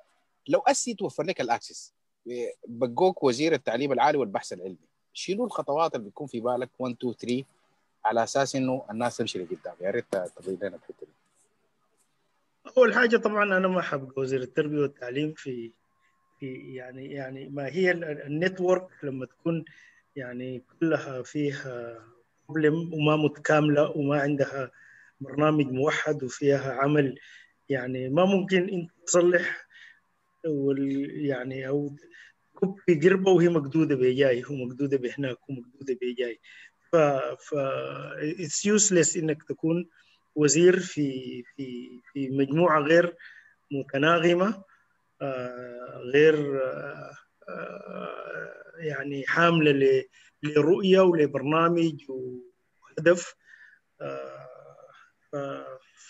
مستحيل يعني. الإصلاح جزء متكامل. لازم أنت كوزير تربيه وتعليم لازم تكون عندك رؤية وبرامجك وحاجاتك اللي بتتكامل مع بتاع المالية وبتتكامل مع بتاع الصحه وبتتكامل مع التعليم العادي وبتتكامل مع بتاع الطرق ومع المواصلات ومع البنية التحتية.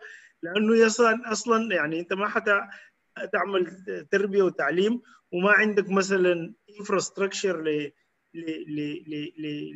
لتعليم مثلا عن بعد ولا لكتب ولا لمواصلات للطلاب ولا لقاعات ولا لصيانة ولا ل يعني مرتبات لأساتذة ولا لمختبرات تقدر يعني كيف أنت تبدا تطور برنامج غير متكامل؟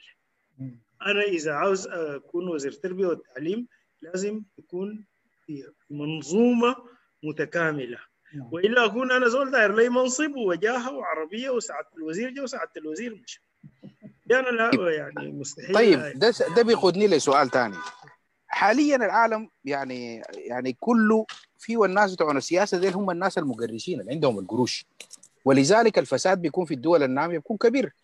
آه كله ضابط بتاع جيش ما عارف هسه كمان في اسمه شو ده الميليشيا بتاعت الدعم السريع ما عارف الضباط الكبار في الشرطة غيره. والسياسيين اللي بيكونوا متعاملين معاهم إذا كانوا المؤتمر الوطني البائد المحلول ولا غيره ولا غيره. كلهم داير يعملوا قروش لأنه القروش بعدها بتديك أنت الليفرج بتاع السياسة. هل أنت فكرتك آه بتكون إنه والله لو أنت داير تكون في governance body يكون فيه الناس عندهم قروش شبعانين مغطين عينهم؟ دي دي حاجة عندنا إحنا نقول لك الله جينا تعرفوا جينا ما تعرفوا ولا إنه لا لا يكون زول كادح وزول نقابي وزول من وسط الناس وشغالين وكده وبتاع وقاعد في النقابة دي ولا في المؤسسة دي مليون سنة. تفتكر يا واحد بيمشي حسب قرايتك أنت للسياسة السودانية في السنوات اللي فاتت دي كلها؟ والله يعني يعني هم الاثنين ما بيفرقوا لكن أنا بيكون عندي بس حاجتين. إنه شخص نمرة واحد عنده vision نمرة اثنين شخص أمين. إذا عنده vision وأمين ما في مشكلة. حتى لو فقير يعني ما عنده ما حيسرق عشان عشان ولا حيخون. والأمانة دي يعني يعني يعني ممكن الغني جدا واللي عنده قروش يبقى حرامي أكثر من الفقير. دي ما ما كرايتيريا عشان أنا أختاره إنه بس هو عنده عنده قروش. ولا يعني يعني الفقير معناته إنه هو عاوز ينهب. لكن الأمانة بتكون من مواقف معينة وال vision بتكون من إنه الشخص ده مؤهل عشان يؤدي العمل. واهلنا زمان كانوا كده؟ حتى السياسيين منهم كانوا عندهم ما كانوا امينين لكن ما كان عندهم vision دي المشكلة الأساسية. عشان كده يعني القصة ما مشت لقدام. لكن لو كان عندهم vision مقرونة بالأمانة. كان السودان ده حس يعني يعني السودان ده المفروض يكون أكثر دوله متطورة في العالم لأنه عنده كل شيء. بدا التعليم أو يعني اول خطوط في أفريقيا والدنيا دي كلها حقتنا الخطوط الجوية السودانية سفريات الشمس المشرقة. الخطوط السكة حديد من القرن اللي قبل اللي قبل اللي فات يعني تصل لغاية واو من من حلفا. لغاية نيالا ولغاية سلو السودان وصل لغاية كريمه ولغاية حلفا القديمة في infrastructure مواصلات مديرية الخرطوم. انت تعرف انه أنا بمشي المدرسة كنت بالبص بالابونيه ابو 25 قريش حسب ال time ومحطة البص اللي بيجي فيها بص المديرية بحصل الحصة الأولى. بقف قدام الباص بيجي الباص on time وفي جدول معلق في المحطة. إنه الباص ما ما يجي الباص بيجي مسميه بص الأهالي. اللوري الأصفر ذاك اللي عاملينه. دي كلها كانت لأنه الناس كانوا مؤمنين ومخلصين. لكن ما كان عندهم vision ينقلوا الحاجة دي لوين؟ يعني لما جا نميري النميري ما حرامي. لكن متهور وما عنده vision عشان يعمل حركة وقف يخطب يخطب يخطب وحاعلن لكم مفاجأة. ميم. في بنك باركليز وكان في كافوري ديك وكان في infrastructures وكان في مصانع النسيج أما لصالح الدولة وما عنده ليها رؤية إنه أنت شلتها حتعمل بها شنو؟ حطمتها بدأت تحطم الاقتصاد. كانت الخطوة الأولى في تحطيم الاقتصاد. قبل بعدهم بدوا قصة النهب والسرقة ودخلت مع عدم الرؤية وضاع السودان. ناسنا الأوائل اللي من الاستقلال لو كان عندهم رؤية إنه وين انت بتشوف السودان سنة 2020 حس السودان بقى الوقت ذاك بأمانتهم ديك وبإخلاصهم وبشويه الشرف اللي فيهم. كان السودان بقى في مرحلة ثانية. نعم. لكن يعني ما كانت عندهم ال vision كان عندهم الأمانة. دلوقتي أنا داير زول يكون عنده الشرف والأمانة. ما بهم انه غني ولا ولا فقير. دي الحاجة المهمة لأنه بعد ذاك يعني يعني يعني آه ما حتقدر ما حتقدر تبني دولة. والكفاءة برضه يا بروف ولا شنو؟ ما, ما هي ما هي ما هي ال vision تعني الكفاءة. نعم. أنت إذا عندك vision معناته أنت عندك الكفاءة لأنه أنت عندك رؤية. أنك عاوز تعمل شنو؟ إنك عشان إنه الرؤية دي تتنفذ عبر خطة استراتيجية عبر work plan بتاعتك عبر الرسالة بتاعتك وأهدافك الاستراتيجية عبر ال team بتاعك. بتقدر طول ما أنت عندك vision أنت عندك رسالة عندك أهداف استراتيجية بتخلق تيم يعمل لك يحقق لك الحاجات دي. وناسك يكونوا ناس امنا لكن كل زول تخط ويسرق. فالقصة ما يعني عدم الأمانة مع الكفاءة ما في فائده عدم الأمانة مع الرؤية ما في فائده أمانة وزول ما عنده فيجن بس زول أمين وما بيعمل لك شيء ما في فائده أنا بس الكلمتين دي شخص عنده رؤية وعنده أمانة هو الشخص. بغض النظر عن إنه غني أو فقير. نعم. آه سبحان الله سي بتتكلم يا يا بروف عن إنه العلم متطور والعلم كل يوم فيه حاجة جديدة. قبل شوية جاني بالبريد العدد بتاع الأسبوع ده بتاع ال Newsweek فجايبين فيه إنه ال ال الباحثين في إنه يشوفوا علاج الزهايمر. فلقوا زي, يعني نور في النفق. بعد يعني بعد ما خلاص يئسوا وإنه خلاص الموضوع ده ما حيقدروا عليه كده فيعني بأبحاثهم وكده لقوا إنه في في صاي في أمل يعني إنه يبقوا آه علاج للزهايمر وماشيين في الموضوع ده كويس يعني. فممكن أنا بالواتساب ارسل لك screenshot للحاجات دي يعني. فده ده بيرجعنا لكلامك بتاع إنه العلم ماشي متطور. فده بيقودنا للسؤال بتاع آه مركز الجوهرة للطب الجزيئي. يعني الفكرة وال وال وال والدافع إنكم تعملوا مركز يعني ضخم بالصورة دي يعني. طبعا الفكرة هي البحث العلمي والاكتشاف ومساعدة وخدمة الناس. أوكي؟ في آه الأشياء اللي اللي بيكتشفوا فيها الاستهلاك يعني الحاجة اللي بيكتشفوها في أمريكا زي للزهايمر يكتشفوا الجين أو يكتشفوا البروتين عشان يعني يتم علاجه. ال idea نحن علمائنا هم اللي وضعوا الأساس بتاع العلوم. جراحة عندك الجراحين وهو اللي عمل كل الأدوات الجراحية. عندك ابن سينا في الطب وعندك الفارابي وعندك نظم الري وفي الطيران وفي في الجبر في ال mathematics دي كلها basics ال basics دي اللي انتقل منها العالم. طيب نحن ما عاوزين يعني نرجع لل basics لكن عاوزين نمشي من حيث وصل الآخرون يعني. نعم. ف ف فال idea إنه العالم تقدم يعني بالذات بعد سنة 2000 بعد ال discovery الكبير وال sequencing بتاع الجينوم البشري إنه based على الجينوم البشري ده is a lot of innovations. نحن we want to be part من العالم إننا يكون عندنا ال innovations في الجينوم وكل ما يتعلق بالجينوم الجينات وال molecules المسؤولة عن وظائف الجسم مسؤولة عن الخلايا الأنسجة الأعضاء الأجهزة مسؤولة عن ال new methodology بتاع التشخيص وقت الكورونا فيروس لو ما كان تقدم علم الجينوم وال molecular medicine ما كان يعني يعني الناس وصلت مثلا للبي سي ار والريفيرس ترانسكريبتيز والكلام اللي بيتكلموا عنه ولا لل mRNA vaccine ولو ما فهموا الحاجات دي بتطور العلوم والتكنولوجيا. نحن عاوزين نكون part فعملنا المركز على أساس تكون فيه خدمات علاجية في مجال ال genetics إننا ندخل في ال gene therapy التجارب بتاعته ندخل في في ال biochemical genetics زي برامج ال newborn screening ندخل في عمليات ال molecular cytogenetics بتاع تحليل الكروموسومات. الناس اللي عندهم أمراض وراثية وعاوزين ينجبوا أطفال ما عندهم مشاكل ندخل في ال implantation genetic testing ونطور فيها. ونعمل sequencing للجينات بتاعتهم ونصل للجين المعطوب عشان الجنين اللي ال embryo اللي بنعمل له تخصيب خارجي وشايل ال mutated gene ما نرجعه لهم. okay.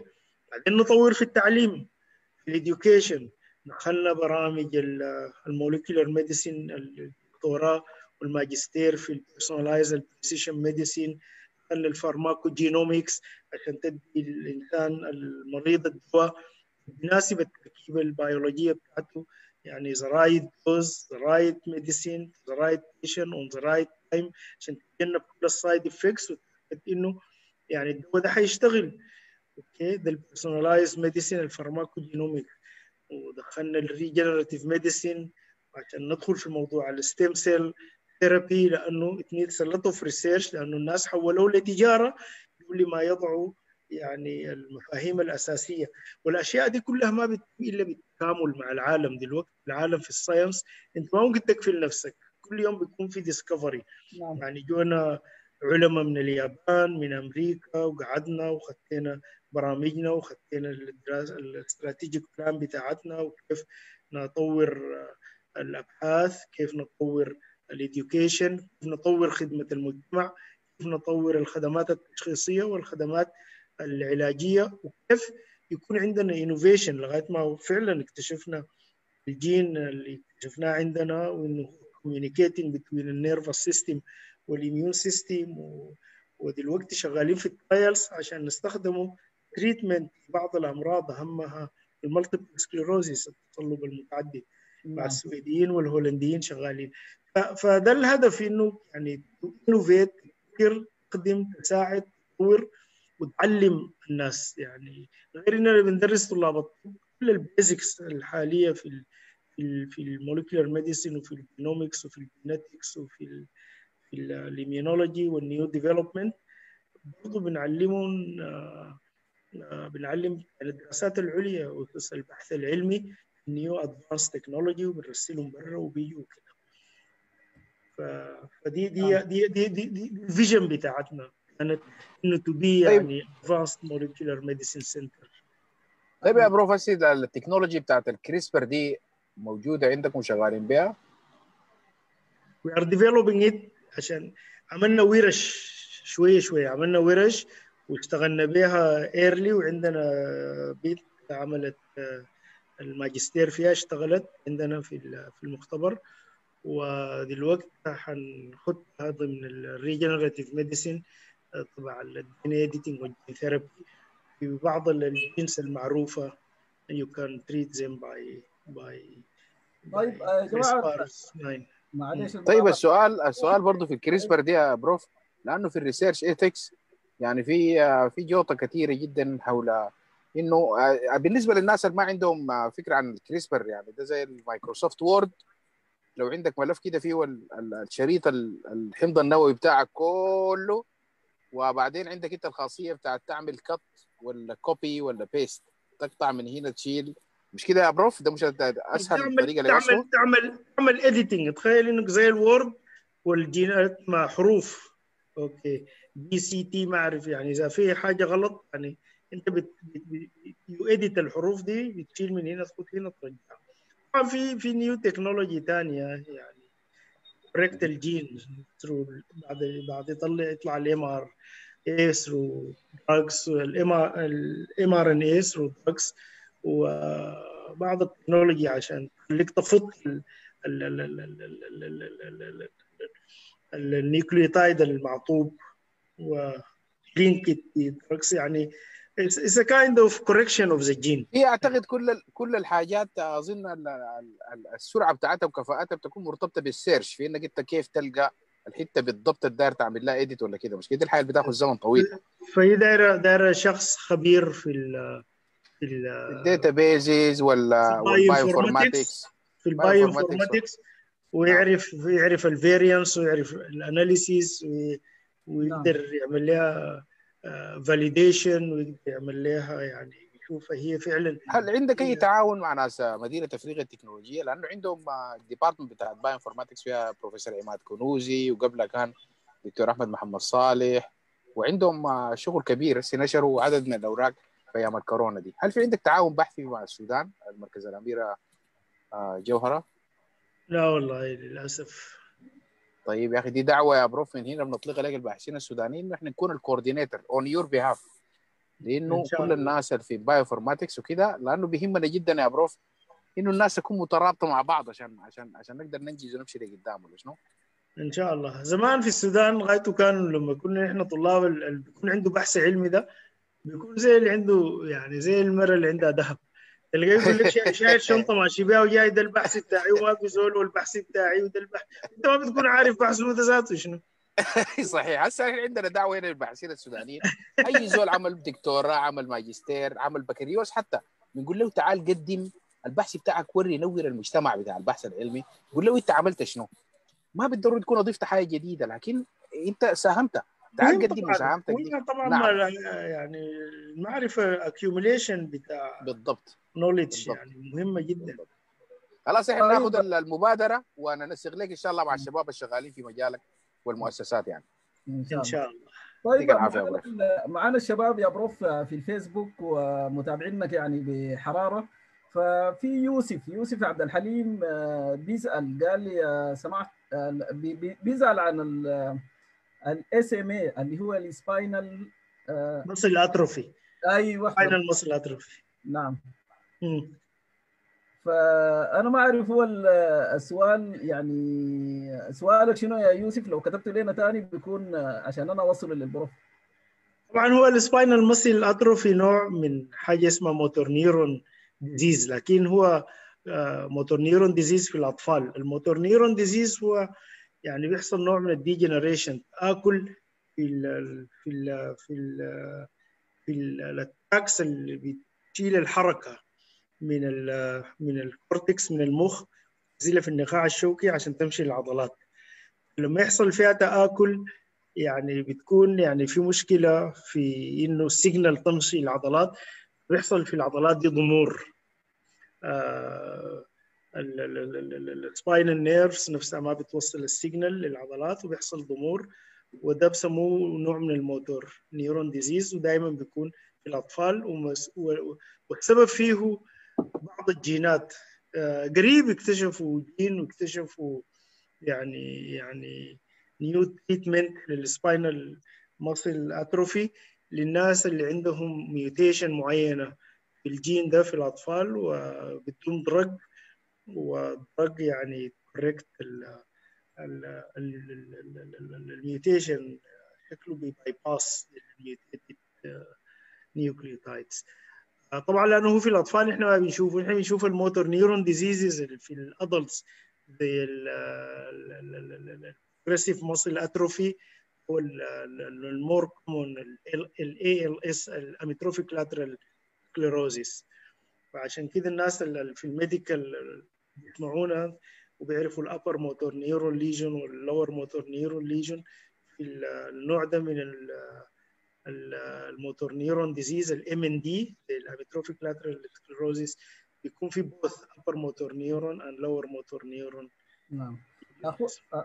أخونا يوسف ثاني عاد ووضح السؤال بتاعه وقال هو فقد ثلاثة أطفال بسبب المرض والعلاج غير متوفر في الدول الفقيرة. فهل ممكن علاج جيني للوالدين؟ هو هو طبعا لأنه genetic وزي ما قلت بيحصل في الأطفال. في الأول لازم يتعرف مثلا عشان يعني يكون في يعني عندك طفل سليم لازم تعرف يعني يعني لازم يحصل in vitro fertilization أطفال أنابيب وتخصبوا عدد من البيضات وبيكون في مجموعة أجنة خمسة ستة سبعة عشرة كلهم in vitro وبعدين أنت في know gene بتعمل حاجة اسمها mutation genetic testing بتشوف الجين اللي اللي, موجود ومسبب المشكلة بالنسبة للفاميلي دي. ف وبعدين تعمل بتشيل خلية واحدة من حاجة اسمها ال morula ال gene ده والخلية دي بتكبرها بال PCR اللي كل الناس دلوقتي تتكلم عنها. وبعدين تعمل له sequencing وتشوف هل الجين اللي فيه مشكلة ده موجود في الجنين ده ولا لا. إذا أنت لكي تلاقي من العشرة اللي تخصبوا البويضات وتلاقي واحد اثنين آه ما فيهم عطل في الجين ده بتزرعهم في الرحم عشان تعطي أطفال سليمين. لكن آه إذا كان الطفل أصلا حصل الحمل طبيعي واتولد وعنده ال spinal muscle atrophy آه إذا فيه mutation معين في الوقت يعني يعني علاج جديد بس لازم يكون ده السبب فيه الجين. فده بيحتاج ل ل genetic counseling genetic analysis عشان يتعرف الجين. وبعدين هل ممكن العلاج ده يتم ولا لا. Unfortunately it's very expensive. طبعا دي مسؤولية الدولة ما مسؤولية أفراد. في السودان أكيد الدولة إذا ما بتوفر لك عيش حتوفر لك gene therapy مستحيل. فدي الحاجة اللي اللي يعني المحزنه وامراض كثيره جدا يعني طيب يا بروف حاجة زي دي هل بسبب مثلا نقول زواج الاقارب هل في العامل الرئيسي حاجة زي دي يعني حاجة avoidable في في في في حاجة في زواج الاقارب طبعا مشكله المشاكل الوراثيه في السودان بسبب زواج الاقارب يمكن اعلى مكان في في العالم يعني فيه مشاكل بتاعت امراض وراثيه فدي كلها يعني الجينات دي في بعض بسبب المشكلة دي. لكن أحيانا طبعا لما يكون يعني يعني بيحصل أكثر من مرة وفي أكثر من طفل معناتها فعلا يعني في كونسانكوينيتي عالية وفي يعني autosomal recessive disorder بينتقل إما من الواحد حامل الأم ولا الأب وكده وبينتقل المرض لكن أحيانا بتكون في يعني mutations جديدة يعني بتكون في مرض يكون مرض جيني وحصل mutation لكن ما يكون موجود في الأسرة فاكتسبوا الشخص ده نتيجة الناس اللي مثلا بيمشوا التعدين التعدين الأهلي الحاجات زي ممكن يحصل فيه حاجة زي دي؟ والله إذا المناطق فيها radiation فيها بالضبط. حاجات مدفونة مصايب بلاوي بيحصل ممكن تحصل new mutations تعمل cancer تعمل disease ال autoimmune disease زي ال multiple sclerosis ممكن تعمل several mutations تطلع لك بلوى زي ال ALS ال ALS دلوقتي فيه 33 جين كل مرة يجي 20 لغاية السنة اللي فاتت. وكل مرة يطلع جين جديد. طبعا لأنه في تلوث بيئي في العالم كله. وفي مشاكل كثيرة جدا خلت الأمراض تتطور وتتطور وتزيد. الحالات السكر زاد ال lifestyle اتغير ال cancer زاد الأمراض الوراثية زادت الأمراض الوراثية الجديدة obesity مشاكل كثيرة نعم. طيب يا بروف هل في خارطة جينية للسودانيين ولا في أي مشروع زي ده؟ أنا أفتكر بروفيسور منتصر كان عملوا ال African genome كانوا شغالين عليه لكن ما ما عارف عملوا السودان genome project نحن في البحرين يعني شغالين على البحرين genome project وبدينا فيه من 2015 كدعوة أولى ونعرف المجتمع شنو ال genome project وشنو أهمية رسم الخارطة الجينية للإنسان في البحرين. وبيتغير كثير في العلاج وبيتغير كثير في التشخيص وبتساعد على كثير من الأمراض وشنو المشاكل بتاعتها. وجبنا رؤساء ال genome projects كلهم جمعناهم عندنا في مركز الجوهرة في كندا وفي أمريكا وفي فرنسا وفي ألمانيا وأستراليا واليابان والسعودية وقطر والإمارات و... وعملنا ثلاثة أيام من الاجتماعات المتواصلة. ونقلناها للمسؤولين ودلوقتي تبناه ولي العهد البحريني. وبقى على رأس المشروع بتاع الجينوم بحرين genome project نعم. يا يوسف أنا حسب الشيء اللي فهمته من من من البروف إنه ما في علاج للأبوين إلا عن طريق إنه أطفال انابيب وبعد ذاك يشوفوا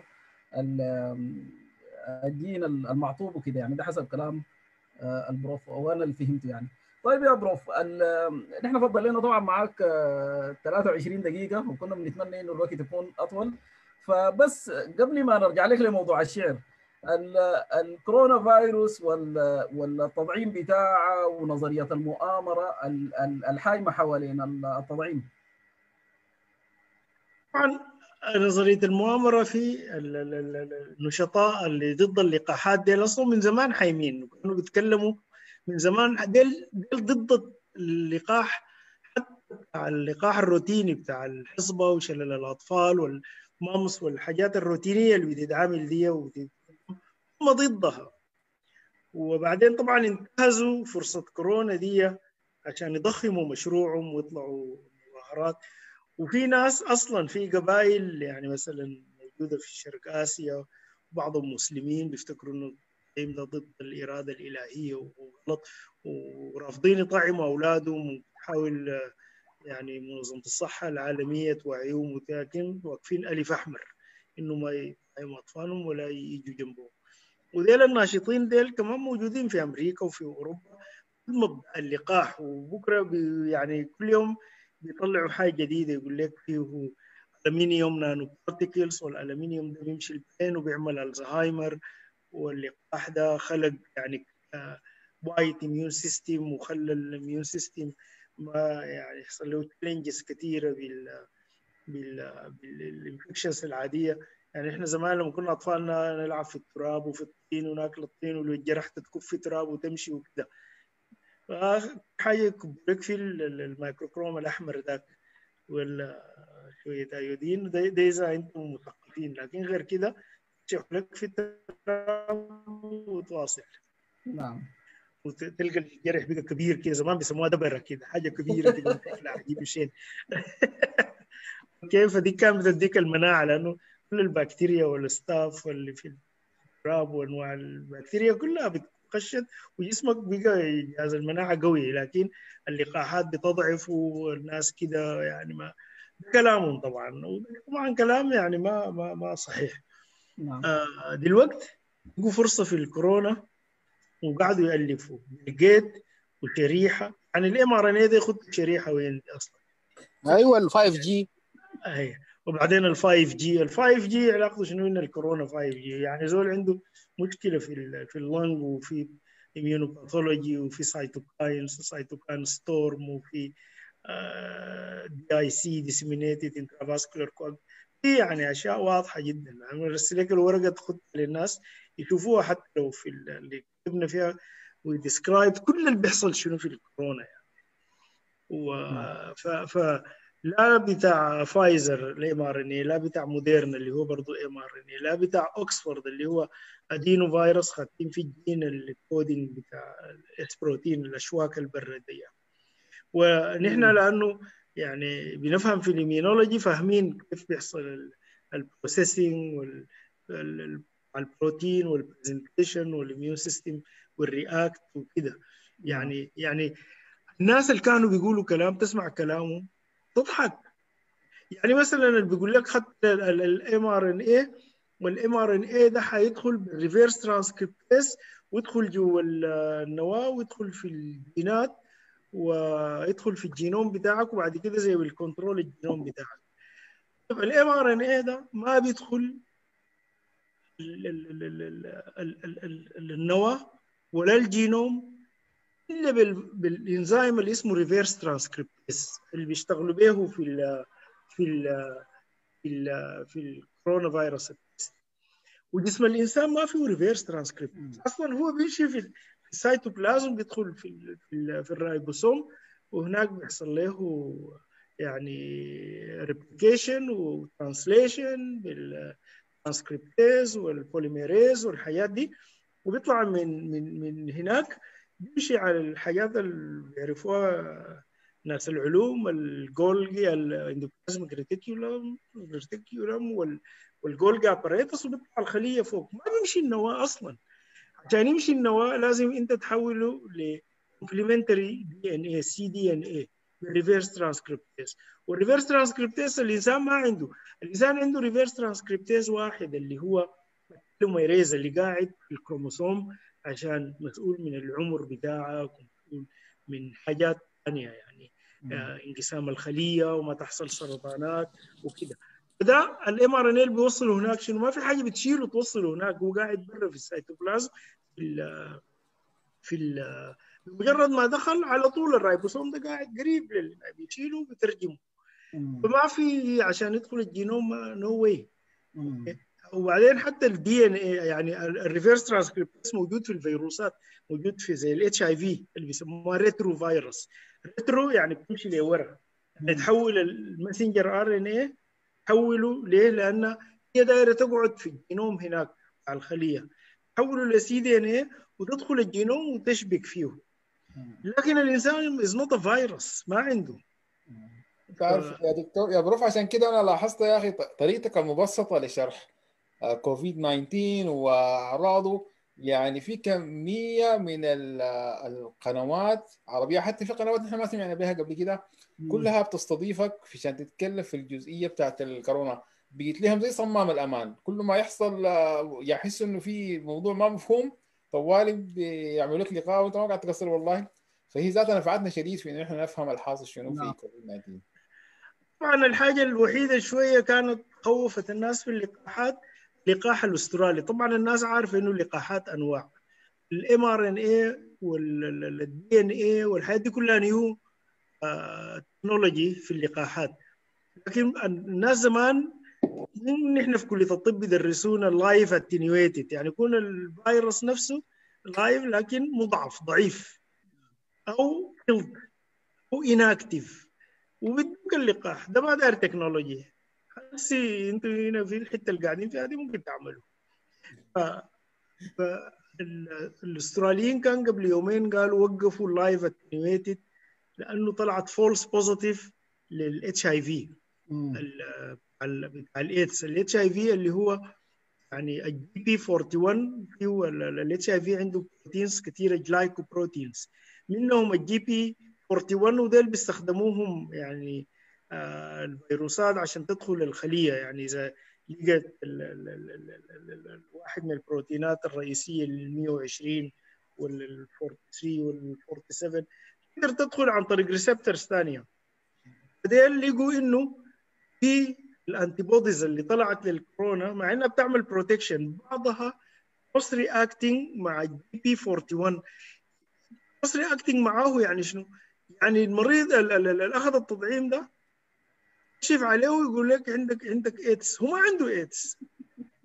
لكن ال antibody طلع ده يعني cross reacting مع مع ال antibodies اللي بتطلع لل- لل glycoprotein بتاع ال gp 41 ده بيخوفك ويوقفك من نظرية المؤامرة مش بتاعت اللقاح بتاعت الفيروس نفسه هل الفيروس مصنع؟ هو شيء من تركيبة ال HIV فيروس ولا لا ولا الحاجة اللي قالوها دي حصلت بالصدفه ولا شنو يعني تاني الناس ما تكلمت عنها.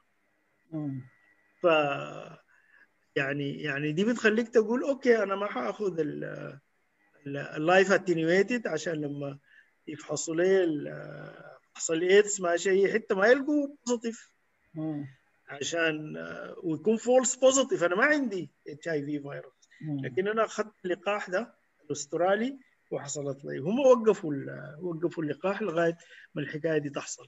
عشان كده أنا بعتقد إنه أكثر لقاح آمن هو بال new technology لأنه targeted يعني vaccine therapy يعني حاجة short mRNA وعليهم بالمناسبة هم حاجة جديدة. هم لهم 20 سنة شغالين عليه بس ما كانوا عارفين آه، يعني ال transporter ال- ال- ال vector اللي اللي يوصلوا الخليه يدخلوا شنو لأنه ال mRNA is very unstable.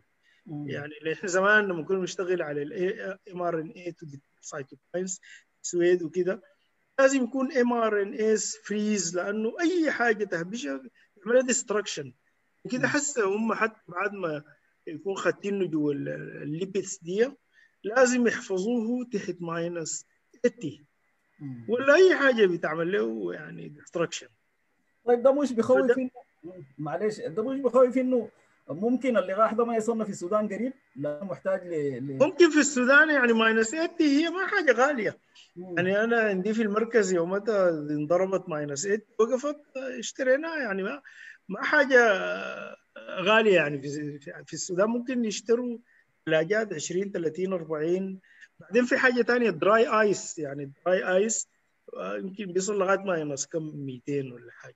مم. ممكن ينقلوه فيه ويخت فيه ويقعد كم يوم في dry ice يعني يعملوا لهم حاجة بتاع dry ice ويحفظوه فيها بدل بدل يشتروا minus 8 وإن كان لو اشتروها كويس بعدين يدوها للمختبرات يخط فيها حاجات وممكن بعد أي حديث لكن ممكن يقعد في dry ice dry ice أكثر من minus 80 مم. آه، دي المشكلة بالنسبة للسودان لكن لدول ثانية ما مشكلة يعني minus الغريب بس في في في أخت سالت وده كان نفس سؤالي. يعني نحن جاتنا كورونا يعني أنا واحد جاتني كورونا في في سبتمبر واتعافيت منها. هل إنه يعني لأنه في ناس بيقولوا لي حجيك ممكن تجيك ثاني على ال possibility إنك تجيك ثاني وفي ناس يقول لي لا ممكن أنت ثاني سنة ما تجيك. ف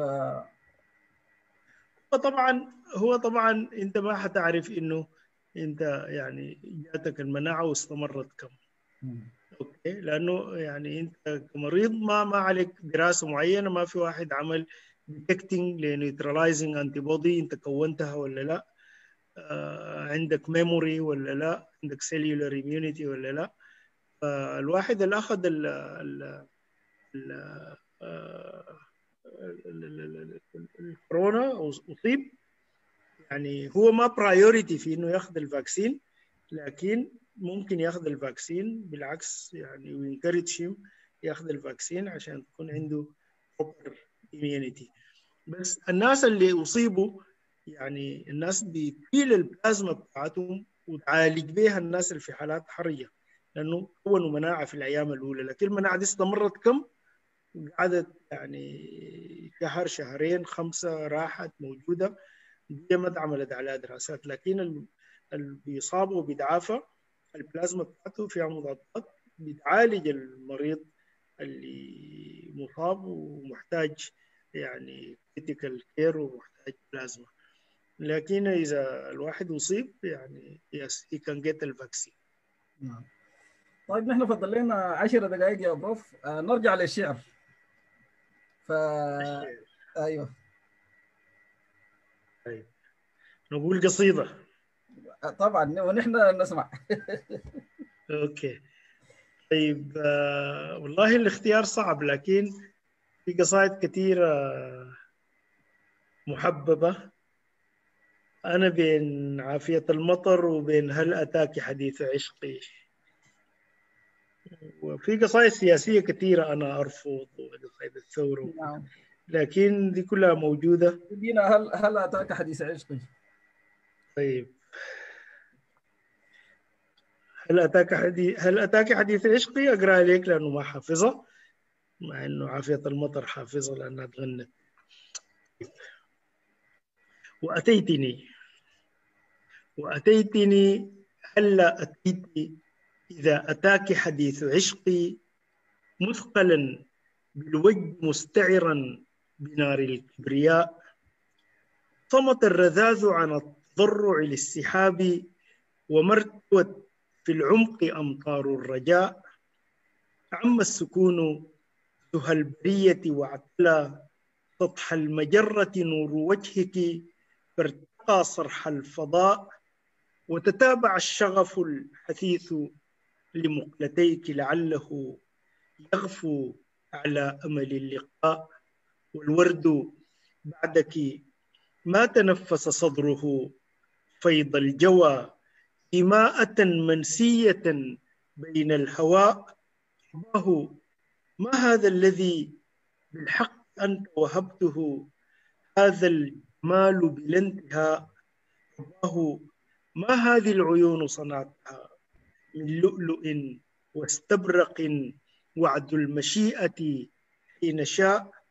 الله الخوف الذي بالحمد يصدق وعده رمزا يطوقه الوفاء.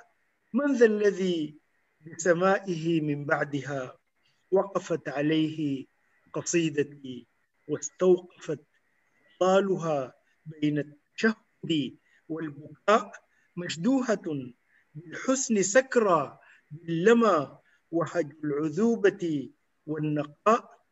إلا هي بلورة في صدرها الأفلاك تسطع زاهية وجبينها القمر المهاجر في دروب الاشتهاء وكذا جنوني حين ترحل من غصوني الدجى أوراقها فتهب عاصفة الشقاء من لي بأحداق الرحيق إذا التقت أنفاسها في سندس الزمن المضاء من لي إذا غطت يوم الصحو أفئدة الرؤى سحر له في قدرة المولى. هي فرحة الميلاد في الكون الذي به مجد على الدنيا أفاء وعلى الطبيعة والأنام على الخليق جمعها وعلى المهابة والإباء تأتي فيأتلق المدى. ترنو فينشطر الصدى والبرق ملء سمائها الشمس تشرق بالضياء تمشي تحرسها النيازك والشهاب يزود عنها والمآذن والقباء تمشي وترقبها القلوب المثخنات بحبها ويحفها طير الهوى ودعاء كل الأولياء مصنوعة من ضوء قواس الصباح ومن حرير الليل من عصب الصفاء بلونها ذهب احتفى أها خط بريقه في ثغرها ثم انتفى ثم انتفى وبوجنتيها الصبح ضاء والظهر صلى نافلة والعصر أذن للغروب حية للقافلة لما أطلت بالعشاء كل الفرائض قدمت فرض الولاء كل الموانئ والشواطئ والمطارات الندية غادرت سكناتها لتحل في صدر السماء حتى طيور النورس والها أتت من كل فج سابحات انتشاء والكوكب الدري بايع حسنها قرأ المعوذة من شرور الناس حينا ثم ناء وتلته باقات الأزاهر حاملات تاجها لمليكة ومليكة الآفاق أثناء النساء. كل العوالم لم تغب عن بهوها منذ الصباح إلى المساء. حتى الفصول الدائرات وقفت عن سيرها. للصيف عاد بدفئه للبرد غلفه الشتاء جاءت نبع الحلم يرفل بين ورد العشق طل بين بحر الشوق ماء. جاءت حبيبتي الجميلة استطاب العمر فينا لحظة وتدفق الزمن الزهاء. جاءت حبيبتي الجميلة استحال الكون في أعماقنا لحديقتين من البهاء. يا سلام يا دكتور يا سلام يا سلام. يا أخي متعك الله بالصحه والعافية. آه طبعا يعني على مشارف إنه نحن يعني آه نودع الجلسة الجميلة دي من أجمل ال من أجمل وأعزب ال ال يعني واحد ينعي صديقه.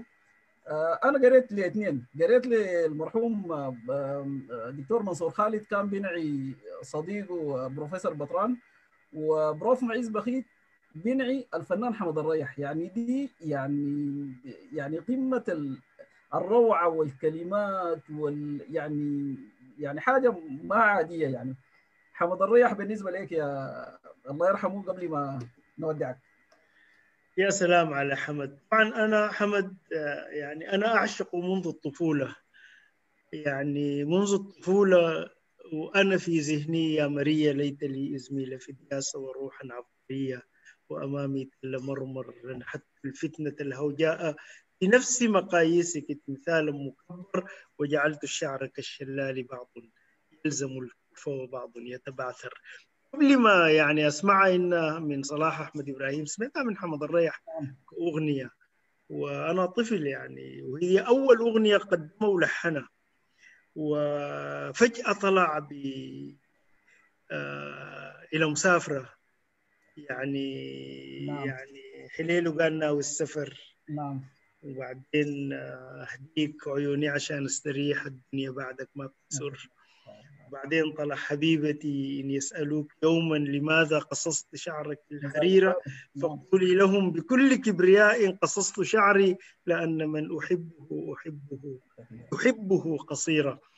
وبعدين بيض الوجوه كأنها رضعت ينا كأنها رضعت على صدر القمر سود العيون كأنها شربت ينابيع السحر.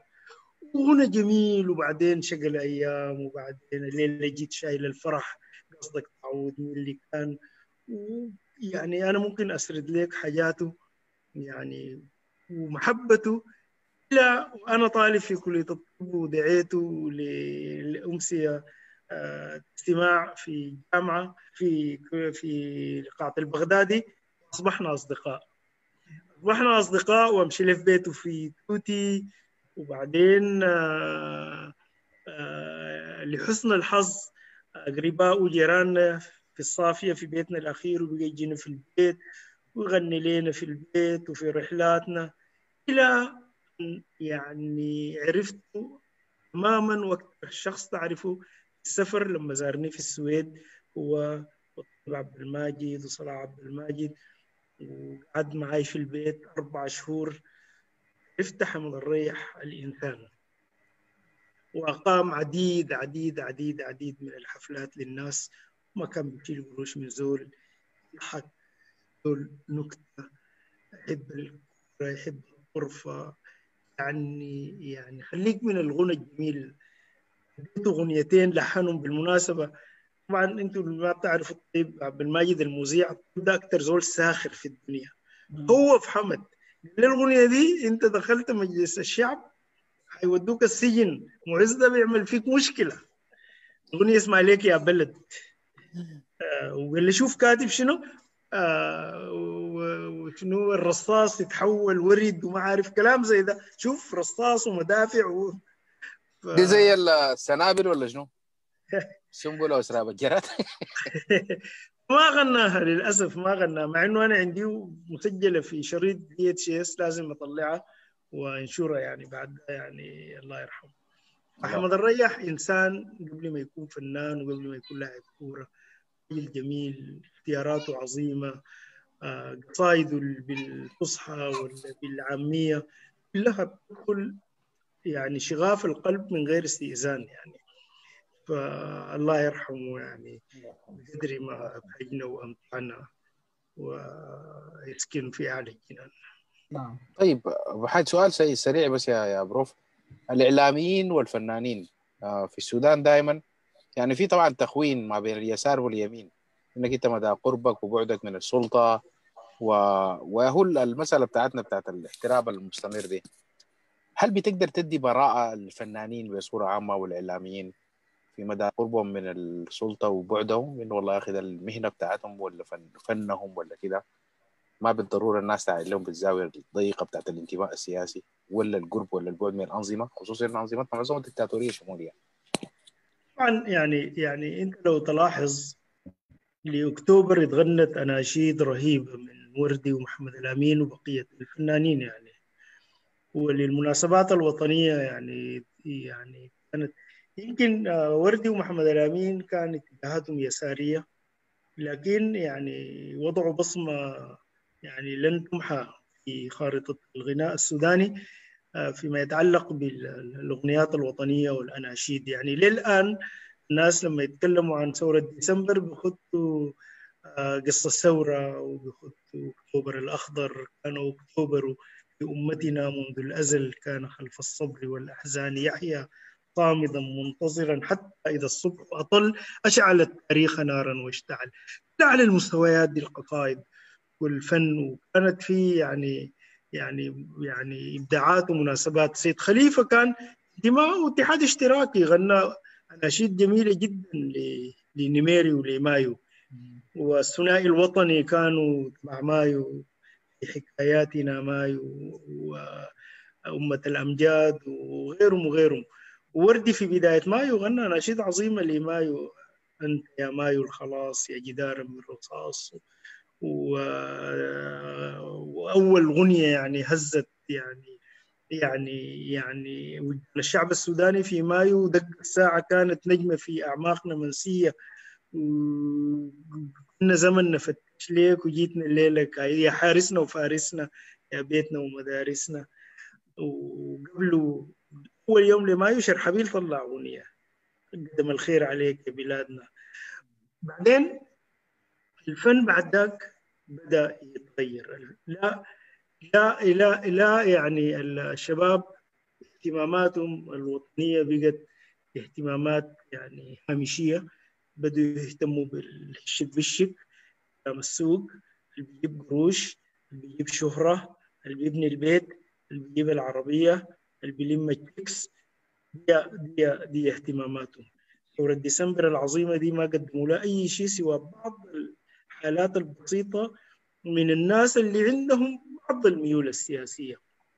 لكن لكن يا بروف انت إنت ما كده بتكون biased تجاه ال generation القديم. يعني ناس في شباب ناس أيمن ماو يعني الأغنية بتاعت رصاصه حية دي لما اتغنت في ميدان الاعتصام يعني ونحن قاعدين وفي ظهرنا طوال القيادة القوات البرية يعني بتحس إنها داخلة جوا كده دي الجنجويد جنجويد رباطة ما إلى آخره فهل انت لا لا أنا يعني ما بتكلم؟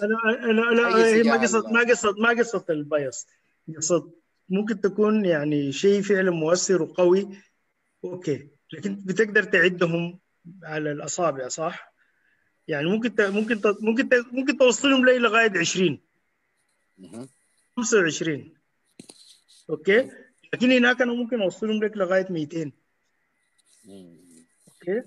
يعني ممكن اطلع لك بتاعت صلاح مصطفى وبتاعت محمد مرغني وبتاعت آه، صالح الضي وبتاعت آه، زكي عبد الكريم وبتاعت. خليك من محمد وردي والكابلي وطلع لك يعني الأغنيات الوطنية اللي تغنت سيد خليفه بالعشرات الثنائي الوطني بالعشرات. لكن أنت هنا ممكن تطلع لي 10 15 لكن ما عشرة. إنه أنا المبدعين بتكلم عن الفنانين. يعني طلعوا يعني غناء رهيب. يعني الشعب حبيبي ومي شرياني محجوب شريء يعني شعراء يتلتلوا. وحميد و... ودي اسمه ده هاشم صديق وغيره. كلنا في النهاية بنجي نستنبك يا بروف بإنه والله يا أخي في النهاية التيمتلي بتكون الأغاني دي اتغنت لديكتاتوريات كان مبطنة في بدايتها.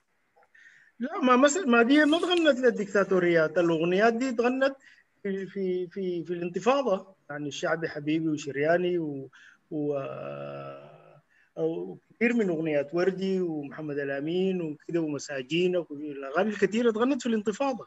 وتغنت آه، وضد نيميري تغنت آه، أغنيات كثيرة. ولنيميري تغنت ولأكتوبر تغنت آه، أغاني كثيرة. بعدين خليك من أكتوبر والانتفاضة والثورة الاغنيات الوطنية. بتاعت العبراوي وأنا سوداني و, و... جيف وشنو والكاشي أجيب في الدنيا وقول للدنيا أنا سوداني نعم. أنا سوداني أنا بتاعت العبراوي وبتاعت الكاشف يعني كانت في أغنيات وطنية يعني يعني الناس غنت للنيل وغنت للنخيل و... وناس خليل فرح من زمان وعزة وأغاني الاستعمار و... يعني كثير من الأغنيات يعني يعني يعني الوطنية ما مربوطة بحدث ولا بثورة ولا بانتفاضة. يعني دلوقتي لما تسمع أغنية آه، أنا سوداني أنا ولا تسمع أغنية بتاعت آه، آه، بتاعت زنجار اللي بدوا يغنوها في في مهرجانات الثقافة نسيتها. يعني أنت بتهزك من من العمق. هي ما كانت مربوطة بحدث. فدي المشكلة إنه دلوقتي الأغاني آه، آه، اس- اس- اسمعها اسمعها معظمها طيب اسمع سؤال 90% سؤال يا بروف هل أنت بتعتبر الشعر آه، ممكن يكون مؤرخ للمراحل السياسية في السودان؟ ولو كان في عندك قصيدة بمناسبة المرحلة اللي إحنا قاعدين فيها هسه حاليا دي؟ نسمعها؟ عندي قصايد أيوه. أقول لك قصيدة إذا عندكم زمن. نسمع. نسمع قصيدة. ختامهم بس- مسك بس آه، لأن الشعر مؤرخ لا. الشعر يعني ما مسؤوليته إنه يؤرخ لكن بيذكر وبيمجد وبيحث وبيشجع. يعني مثلا آه، أغنية عبد الواحد اللي بيغنيها وردي. ما لأن فرسان لنا بل فر جيش الطاغية. كرري تحدث عن رجال كالأسود الطارية الجيش الطاغية فرة ما فرة هذا ما يعني يعني انت بتمجد لكن يعني صح. يعني طيب بقرا لك. أقرأ لك. أنا أرفض. بكل صراحة أرفض. حكم العسكر الأول بطعم العلقم القاني وحكم العسكر الثاني بذقن الكاذب الجاني وحكم العسكر العسكر. أنا أرفض بقايا الحاكم السجان والكيزان والطغيان يتدارى ويتدسر ستائرهم على الأبواب والشباك تتباهى وتتمخطر سجائرهم على أنفاسنا تسكر والحرية التغيير يا وطني خلينا نسحب الكلام ده.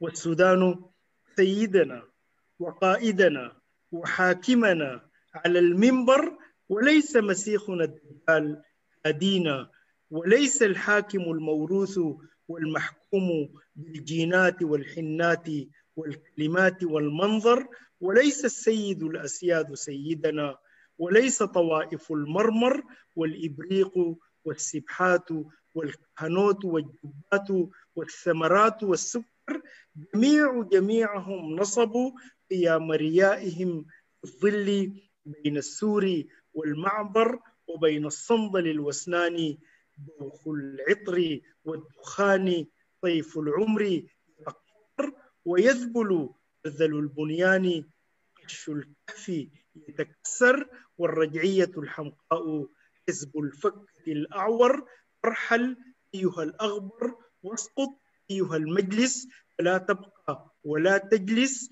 وريث البائس المحتال والدجال والموؤود في المخفر. اسقط أيها المصنوع بالنيشان والتيجان كي تظهر وبالألوان كاكيها وقبعة عليها الصقر بالأصفر. سلم عهدة الثوار للثوار حرية.